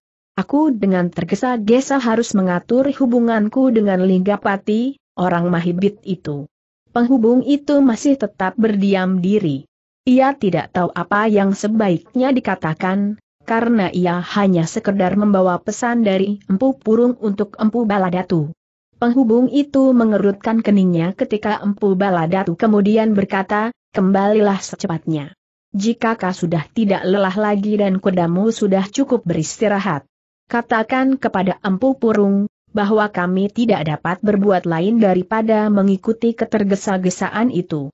Tetapi jaga sebaik-baiknya agar Empu Purung dapat menyelesaikan tugas sampai tuntas di daerahnya. Tidak seorang, prajurit Singasari pun yang boleh tetap hidup. Dengan demikian maka waktu akan bertambah panjang satu dua hari. Demikianlah penghubung yang membawa pesan Empu Purung itu pun kemudian minta diri setelah beristirahat secukupnya. Ia tidak menghitung kelelahan yang akan mencengkamnya, karena ia sadar, bahwa tugas yang dibawanya adalah tugas yang penting. Kita dapat beristirahat di jalan apabila kuda-kuda kita menjadi sangat lelah berkata salah seorang dari para penghubung itu. Yang lain tidak membantah, sehingga mereka pun tidak menunggu terlampau lama. Setelah semua pesan diberikan oleh Empu Baladatu, maka para penghubung itu pun segera kembali ke padepokan Empu Purung. Namun sementara itu, padepokan Empu Purung telah kosong. Ketika mereka mendekati padepokan itu dari perjalanan jauh yang ditempuh dalam waktu yang cukup panjang, dengan melalui malam-malam di perjalanan, ternyata mereka tidak menemukan lagi kekuatan yang mereka banggakan saat mereka berangkat. Prajurit Singasari telah membawa sebagian dari kawan-kawan mereka ke Singasari, justru orang-orang terpenting. Sedang yang lain, setelah melalui beberapa pilihan, mereka ditinggalkan dengan pengawasan yang saksama. Jadi, apakah yang sebaiknya kita lakukan bertanya penghubung itu kepada seorang cantrik yang tetap tinggal di padukuhan. Kita tidak dapat berbuat apa-apa lagi, jawab cantrik itu, ada beberapa orang prajurit tinggal di Banjar. Beberapa orang? Lima orang, jawab cantrik itu. Hanya lima orang kita akan dapat membinasakannya. Tetapi cantrik itu menggeleng. Jawabnya, bukan semudah itu. Lima orang itu adalah lima orang yang tinggal di sini. Jika terjadi sesuatu, maka kita semua akan binasa, karena Singasari akan mengirimkan kekuatan yang berlipat seratus kali. Bodoh kau. Kita bunuh mereka, Sementara itu kita meninggalkan padepokan ini dan bergabung dengan kekuatan Empu Baladatu. Cantrik itu berpikir sejenak. Namun kemudian katanya, kita sama sekali tidak mempunyai kekuatan apa pun lagi di sini. Ada beberapa orang masih tinggal di padepokan. Dan apakah semua pengikut kita yang lain dibunuh? Tidak. Ada di antara kita yang terbunuh dalam peperangan. Di antara yang tidak tertolong lagi adalah Empu Purung sendiri. Ada pula di antara kita yang terlawan dan dibawa ke kota raja. Putut Sanggawardi yang terluka parah dan Putut Kuda Widarba termasuk di antara mereka. Jadi tentu ada yang tinggal bersamamu di sini selain yang ada di padepokan. Anak-anak muda padukuhan dapat kita gerakan. Cantrik itu menggeleng. Katanya, jangan ganggu mereka lagi. Mereka masih terlalu muda. Biarlah mereka menemukan jalan hidup yang wajar. Peristiwa ini agaknya telah memberikan kesadaran baru bagi mereka. Oh desis salah seorang dari penghubung itu, Kau sangka kau sekarang sudah menjadi seorang pendeta yang menekuni tingkah laku seseorang dan membedakan baik dan buruk? Aku tidak. Aku masih tetap seorang yang berlumuran dengan noda karena aku sudah terlampau sulit uniuk membersihkan diri. Tetapi anak-anak muda itu masih mempunyai kesempatan. Apa peduliku dengan kesempatan-kesempatan itu? Itu adalah omong kosong. Kau mengira bahwa dengan demikian kau akan menjadi pahlawan yang tegak membela kebaikan mi lawan keburukan. Tidak. Sudah aku katakan, tidak berlaku bagiku sendiri, persetan. Aku akan menemui mereka seorang demi seorang. Aku akan mengajak mereka membunuh kelima orang prajurit itu. Kemudian kami semuanya akan melarikan diri dan berpihak di satu medan dengan Empu Baladatu yang mulai menggerakkan semua pengikutnya di seluruh Singasari. Tidak ada gunanya. Beberapa kali prajurit-prajurit itu sudah memberikan pengertian yang mendasar kepada mereka. Kau akan datang ke sasaran yang salah, karena mereka segera akan melaporkan kau kepada para prajurit. Wajah penghubung itu menjadi merah padam. Dengan marah salah seorang dari mereka menggeram, kau mencoba menakut-nakuti aku pengkhianat. Kenapakah sendiri tidak membantuku, justru berusaha mencegahku? Kau jangan salah paham. Jika kau melakukannya, maka kau akan kehilangan waktu dan tenaga sia-sia, bahkan akan dapat membahayakan jiwamu dan yang masih tersisa di padepokan ini. Ketegangan di wajah para penghubung itu menjadi semakin memuncak. Dengan kasar salah seorang berkata, aku tidak peduli. Aku akan membunuh kelima orang prajurit yang peiyah menghancurkan padepokan ini. Kawan-kawannya menjadi termangu-mangu. Para penghubung yang baru datang dari padepokan Empu Baladatu itu tidak melihat sendiri apa yang telah terjadi. Karena itu agaknya sulit bagi mereka untuk membayangkan, Bagaimana mungkin prajurit Singasari yang jumlahnya hanya sedikit di barak itu dapat menghancurkan seluruh kekuatannya? Dan dalam waktu yang sangat dekat sudah berubah sikap para cantrik dan anak-anak muda di alas pandan. Aku akan bertindak segera berkata salah seorang penghubung itu, jika kita bertindak cepat, mungkin kita masih dapat menyelamatkan kawan-kawan kita yang mereka bawa ke Singasari. Jangan bermimpi jawab cantrik itu. Kau memang pengecut. Lihat, jejak orang-orang Singasari itu tentu masih jelas. Mereka belum terlalu jauh. Jika kita mampu mengatur diri, kita tentu akan dapat berbuat banyak. Kau mengigau? Kaulah yang pengecut bentak penghubung itu. Apakah kau tidak mempercayai kami, bahwa kami telah bertempur sebaik-baiknya melawan prajurit Singasari? Apakah kau tidak mempercayai lagi Empu Purung yang terbunuh di peperangan itu? Ia sendirilah yang memimpin kami dan mengatur gelar yang kami pergunakan untuk menyergap prajurit-prajurit Singasari. Tetapi justru kamilah yang telah masuk ke dalam suatu keadaan yang tidak menguntungkan. Para penghubung itu termangu-mangu. Nah, aku peringatkan, kau harus menyadari, bahwa Empu Purung sendiri tidak mampu berbuat apa-apa. Pasukan Singasari itu aku kira memang belum terlalu jauh. Jika kau memaksa diri untuk menyusul mereka, sebentar saja kau tentu sudah berhasil. Tetapi jika kau mencoba berbuat sesuatu, maka nyawamu akan segera tercabut dari tubuhmu. Penghubung itu berpikir sejenak. Namun kemudian ia menggeram, aku memang tidak dapat menyusul mereka. Tentu jumlahnya terlalu banyak. Aku akan membunuh yang lima orang, yang mereka tinggalkan di Banjar. Itu pun tidak ada gunanya. Kau tidak akan berhasil. Aku akan berhasil. Lihatlah. Jika kau benar-benar berhati kerdil, jangan ikut campur. Tetapi jangan pula berkhianat dengan menyampaikan rencanaku kepada mereka. Cantrik itu menarik nafas dalam-dalam. Katanya, Daerah ini baru saja ditinggalkan oleh prajurit-prajurit Singasari. Setiap orang mulai berpengharapan bahwa mereka akan dapat menempuh kehidupan baru, termasuk anak-anak muda itu. Termasuk kau potong salah seorang penghubung itu. Ya, termasuk kami di sini, jawab cantrik itu, karena itu jangan kau guncang lagi daerah ini dengan tingkah lakumu yang tidak menentu itu. Para penghubung itu menegang sejenak. Namun kemudian katanya, jika kau tidak berani berbuat sesuatu, tidur sajalah. Tetapi jangan memperkecil arti kedatanganku sekarang ini. Aku akan membangunkan yang rasanya telah pingsan. Baiklah. Aku akan berdiam diri di padepokan bersama beberapa orang yang telah melihat sendiri peristiwa yang telah terjadi tanpa memperkecil arti empu purung yang telah terbunuh di pertempuran. Kedua orang yang baru datang dari padepokan empu baladatu setelah menempuh perjalanan yang panjang itu menggeram.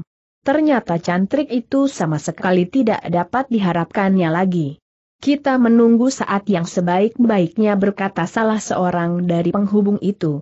Jika malam mulai gelap, kita akan menghubungi anak-anak muda yang masih tersisa. Jumlah mereka tentu masih cukup banyak untuk melawan lima orang prajurit itu. Dendam yang membara agaknya telah membakar jantung para penghubung itu, sehingga mereka tidak dapat memikirkan kemungkinan-kemungkinan lain daripada membunuh kelima orang prajurit yang tinggal di Banjar. Demikianlah, ketika malam tiba, maka kedua orang penghubung itu meninggalkan padepokannya mereka pergi ke padukuhan untuk menghubungi anak-anak muda yang masih tinggal. Yang terlepas dari maut di medan pertempuran, namun yang tidak ikut dibawa oleh prajurit-prajurit Singasari. Hanya nama-nama mereka sajalah yang dapat diberikan oleh cantrik yang tinggal di padepokan. Selebihnya, para cantrik itu tidak mau ikut campur lagi. Tetapi nama-nama yang didapatkan oleh kedua penghubung itu adalah nama-nama mereka yang tidak memiliki kemampuan cukup untuk ikut serta dalam gerakannya membunuh kelima orang prajurit itu. Meskipun demikian, Mungkin anak-anak muda itu dapat membantunya menemukan orang-orang yang dibutuhkannya.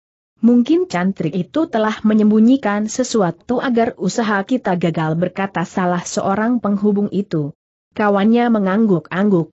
Namun mereka berpengharapan bahwa jika mereka sempat menemui salah seorang dari anak-anak muda di padukuhan, mungkin mereka akan mendapat jalan yang lebih baik. Dengan ragu-ragu mereka mendatangi salah seorang anak muda yang namanya disebut oleh cantrik yang tinggal di padepokan. Anak muda yang lolos dari maut, dan tidak ikut serta dibawa oleh prajurit Singasari. Tetapi ternyata cantrik itu menjadi heran ketika ia bertemu dengan anak muda itu. Jauh dari harapannya yang semula masih tersimpan di dalam dadanya. Ketika para penghubung itu mengetuk pintu, mereka masih berpengharapan bahwa rencananya akan berjalan lancar. Tetapi ternyata, ketika pintu itu terbuka, ia melihat seorang anak muda yang berwajah pucat dan lesu. Matanya redup penuh tekanan batin. Kau lalian bertanya salah seorang penghubung itu anak muda itu mengangguk. Jawabnya dengan suara yang dalam, ya, aku lalian. Apakah kau masih mengenal aku bertanya penghubung itu? Ya, Aku masih mengenalmu. Kau adalah cantrik penghubung yang mendapat tugas pergi ke padepokan Empu Baladatu. Penghubung itu menarik nafas dalam-dalam. Lalu, bagus kau masih ingat. Karena itu agaknya kesadaranmu masih utuh. Ya, aku tidak gila sahut anak muda yang bernama Lalayan itu. Maksudku, kau tentu masih seorang anak muda yang perkasa, maksudmu.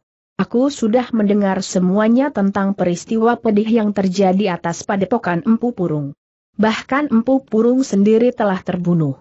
Ya, Empu Purung telah terbunuh. Benar. Dan sekarang, apakah yang akan kita perbuat justru saat Empu Purung sudah terbunuh bertanya salah seorang penghubung itu. Anak muda itu menjadi haran.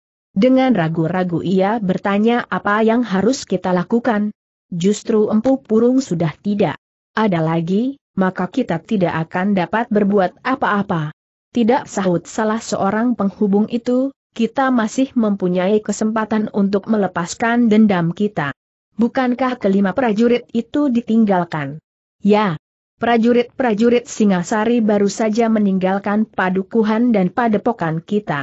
Lima orang di antara mereka tetap tinggal untuk membantu kita semuanya memulihkan keadaan di daerah ini. Memulihkan keadaan bertanya penghubung itu. Ya, memulihkan keadaan. Selama ini keadaan kita di sini tidak menentu. Kami tidak pernah melakukan tugas kami selaku anak-anak muda di padukuhan. Kami seolah-olah telah melupakan diri kami sendiri dan terbenam ke dalam sikap dan tingkah laku yang tidak kami mengerti. Laluan, potong salah seorang dari penghubung itu, ternyata dugaanku salah. Aku kira kau benar-benar masih menyadari dirimu sebagai seorang murid Empu Purung. Tetapi ternyata kau tidak lebih dari seorang pengecut, yang licik. Kau sama sekali tidak merasa kehilangan atas gugurnya Empu Purung yang selama ini menjadi tumpuan kita semuanya. Anak muda yang bernama Lalayan itu termangu-mangu. Tetapi ketika di dalam samarnya sinar lampu minyak ia melihat sorot mata kedua penghubung itu bagaikan menyala, maka hatinya menjadi kecut. Lalian berkata salah seorang penghubung ilu, aku tidak mau melihat salah seorang murid empu purung bersikap seperti perempuan cengeng. Kau harus berani membalas dendam atas kematian maha gurumu. Kelima prajurit itu harus kita binasakan. Kita adalah murid-murid dari seorang maha guru yang perkasa karena itu, kita tidak boleh takut dan cemas menghadapi siapa pun juga. Lalian berkata salah seorang penghubung itu, akan tetapi ternyata bahwa Maha Guru kita telah terbunuh. Ternyata bahwa kemampuan Maha Guru kita tidak dapat menyamai kemampuan prajurit Singasari. Apalagi kita, mungkin kalian masih memiliki kelebihan. Tetapi aku? Wajah kedua penghubung itu menegang. Mereka, memang tidak dapat ingkar, bahwa Empu Purung telah terbunuh. Empu Purung yang semula mereka anggap dapat meruntuhkan gunung dan mengeringkan lautan dengan kekuatan jari-jarinya, ternyata telah mati dibunuh oleh prajurit Singasari. Jika benar Empu Purung memiliki kemampuan yang sedahsyat itu, maka betapa besar kemampuan prajurit Singasari yang berhasil membunuhnya. Kedua penghubung itu menjadi ragu-ragu sejenak. Namun kemudian yang seorang menggeram, itu hanya suatu kebetulan. Mungkin Empu Purung lengah, atau menganggap lawannya terlampau lemah, sehingga ia tidak mempergunakan semua kekuatan dan aji serta ilmunya. Pertarungan itu dahsyat sekali jawab Lalian, adalah kebetulan bahwa aku dapat menyaksikannya. Kedua telah mempergunakan segenap kemampuan yang ada. Benturan ilmu yang berulang kali, membuat Empu Purung menjadi semakin lemah sehingga akhirnya ia terjatuh tidak berdaya. Gila. Kau mengigau, bentak salah seorang dari kedua penghubung itu. Aku berkata sebenarnya. Aku tidak dapat mengatakan, apakah ilmu prajurit-prajurit yang tinggal di Banjar itu sedikitnya menyamai ilmu prajurit yang telah membunuh Empu Purung itu. Tetapi tidak. Orang itu tentu senapati tertinggi dari Singasari. Bukan. Senapati pasukan kecil prajurit Singasari itu telah bertempur dan melumpuhkan Putut Sanggawardi, kemudian langsung melawan Putut Kuda Widarba. Gila, gila. Kau bermimpi buruk anak muda penghubung itu membentak. Baiklah. Aku tidak akan dapat bekerja bersama dengan seorang pengecut. Nah, sebut sajalah beberapa nama orang-orang yang berani berbuat sesuatu. Lalian memandang kedua penghubung itu dengan hati yang berdebaran. Rasa-rasanya, sepeninggal pasukan Singasari setelah padepokan Empu Purung dilumpuhkan, padukuhan itu mulai merasakan sejuknya ketenangan dan kedamaian hati. Namun kedatangan kedua orang penghubung itu agaknya mulai memanaskan suasana lagi. Tetapi, Lalian tidak dapat berbuat apa-apa. Ia tidak berani mencegah rencana kedua penghubung itu untuk membunuh prajurit Singasari yang ada di Banjar. Selanjutnya Lalayan hanya dapat memandang kedua penghubung itu pergi meninggalkan rumahnya. Dengan nada geram salah seorang dari keduanya berkata, aku akan pergi ke rumah Sempati. Lalayan tidak menjawab. Dibiarkannya saja keduanya menuju ke rumah Sempati meskipun hatinya menjadi berdebar-debar. Menurut pengenalannya sempati anak muda yang berani. Tetapi agak kurang perhitungan. Ia termasuk salah seorang dari anak-anak muda yang masih hidup. Lalian yang kemudian menutup dan menyelarak pintu itu pun kembali ke pembaringannya namun ia tidak dapat segera tidur. Rasa-rasanya ada sesuatu yang memberati perasaannya. Seakan-akan ada yang mendorongnya untuk pergi ke rumah Sempati.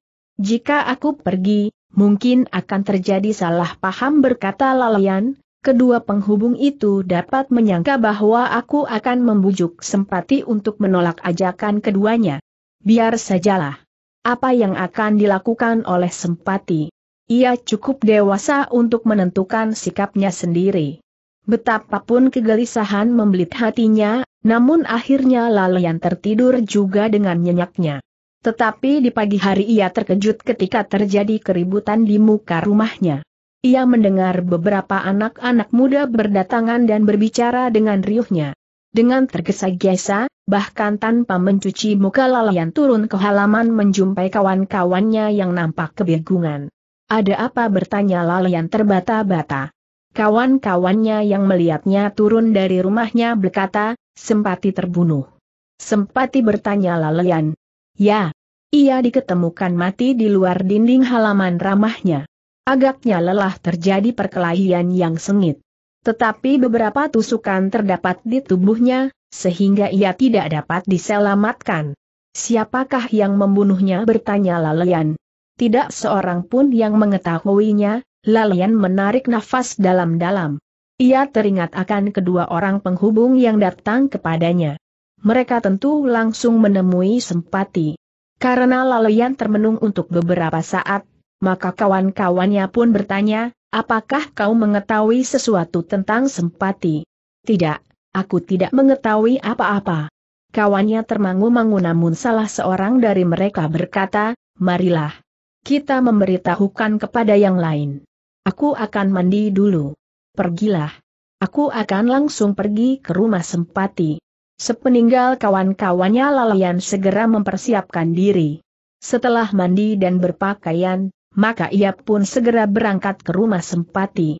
Di muka pintu biliknya ia termangu-mangu. Namun kemudian ia meraih pisau belati yang tergantung di dinding, dan menyisipkan di bawah kain panjangnya. Dengan tergesa-gesa Lalayan pergi ke rumah Sempati. Beberapa orang telah sibuk menyelenggarakan tubuhnya yang membeku. Beberapa buah luka terdapat menganga di tubuh yang diam itu. Lalian menggeretakkan giginya, lah sadar, tidak ada orang lain yang telah melakukannya, kecuali kedua penghubung yang tidak senang melihat ketenangan di padukuhan yang terletak di sekitar padepokan Empu Purung yang telah tidak lagi memancarkan pengaruh apa pun sepeninggal Empu Purung sendiri. Tetapi Lalian tidak dapat segera berbuat sesuatu, lah harus berhati-hati karena ia telah melihat akibatnya. Agaknya sempati yang kurang perhitungan itu langsung melawan kedua penghubung yang pada masa hidupnya empuk purung, merupakan cantrik yang termasuk dekat dan memiliki ilmu yang cukup.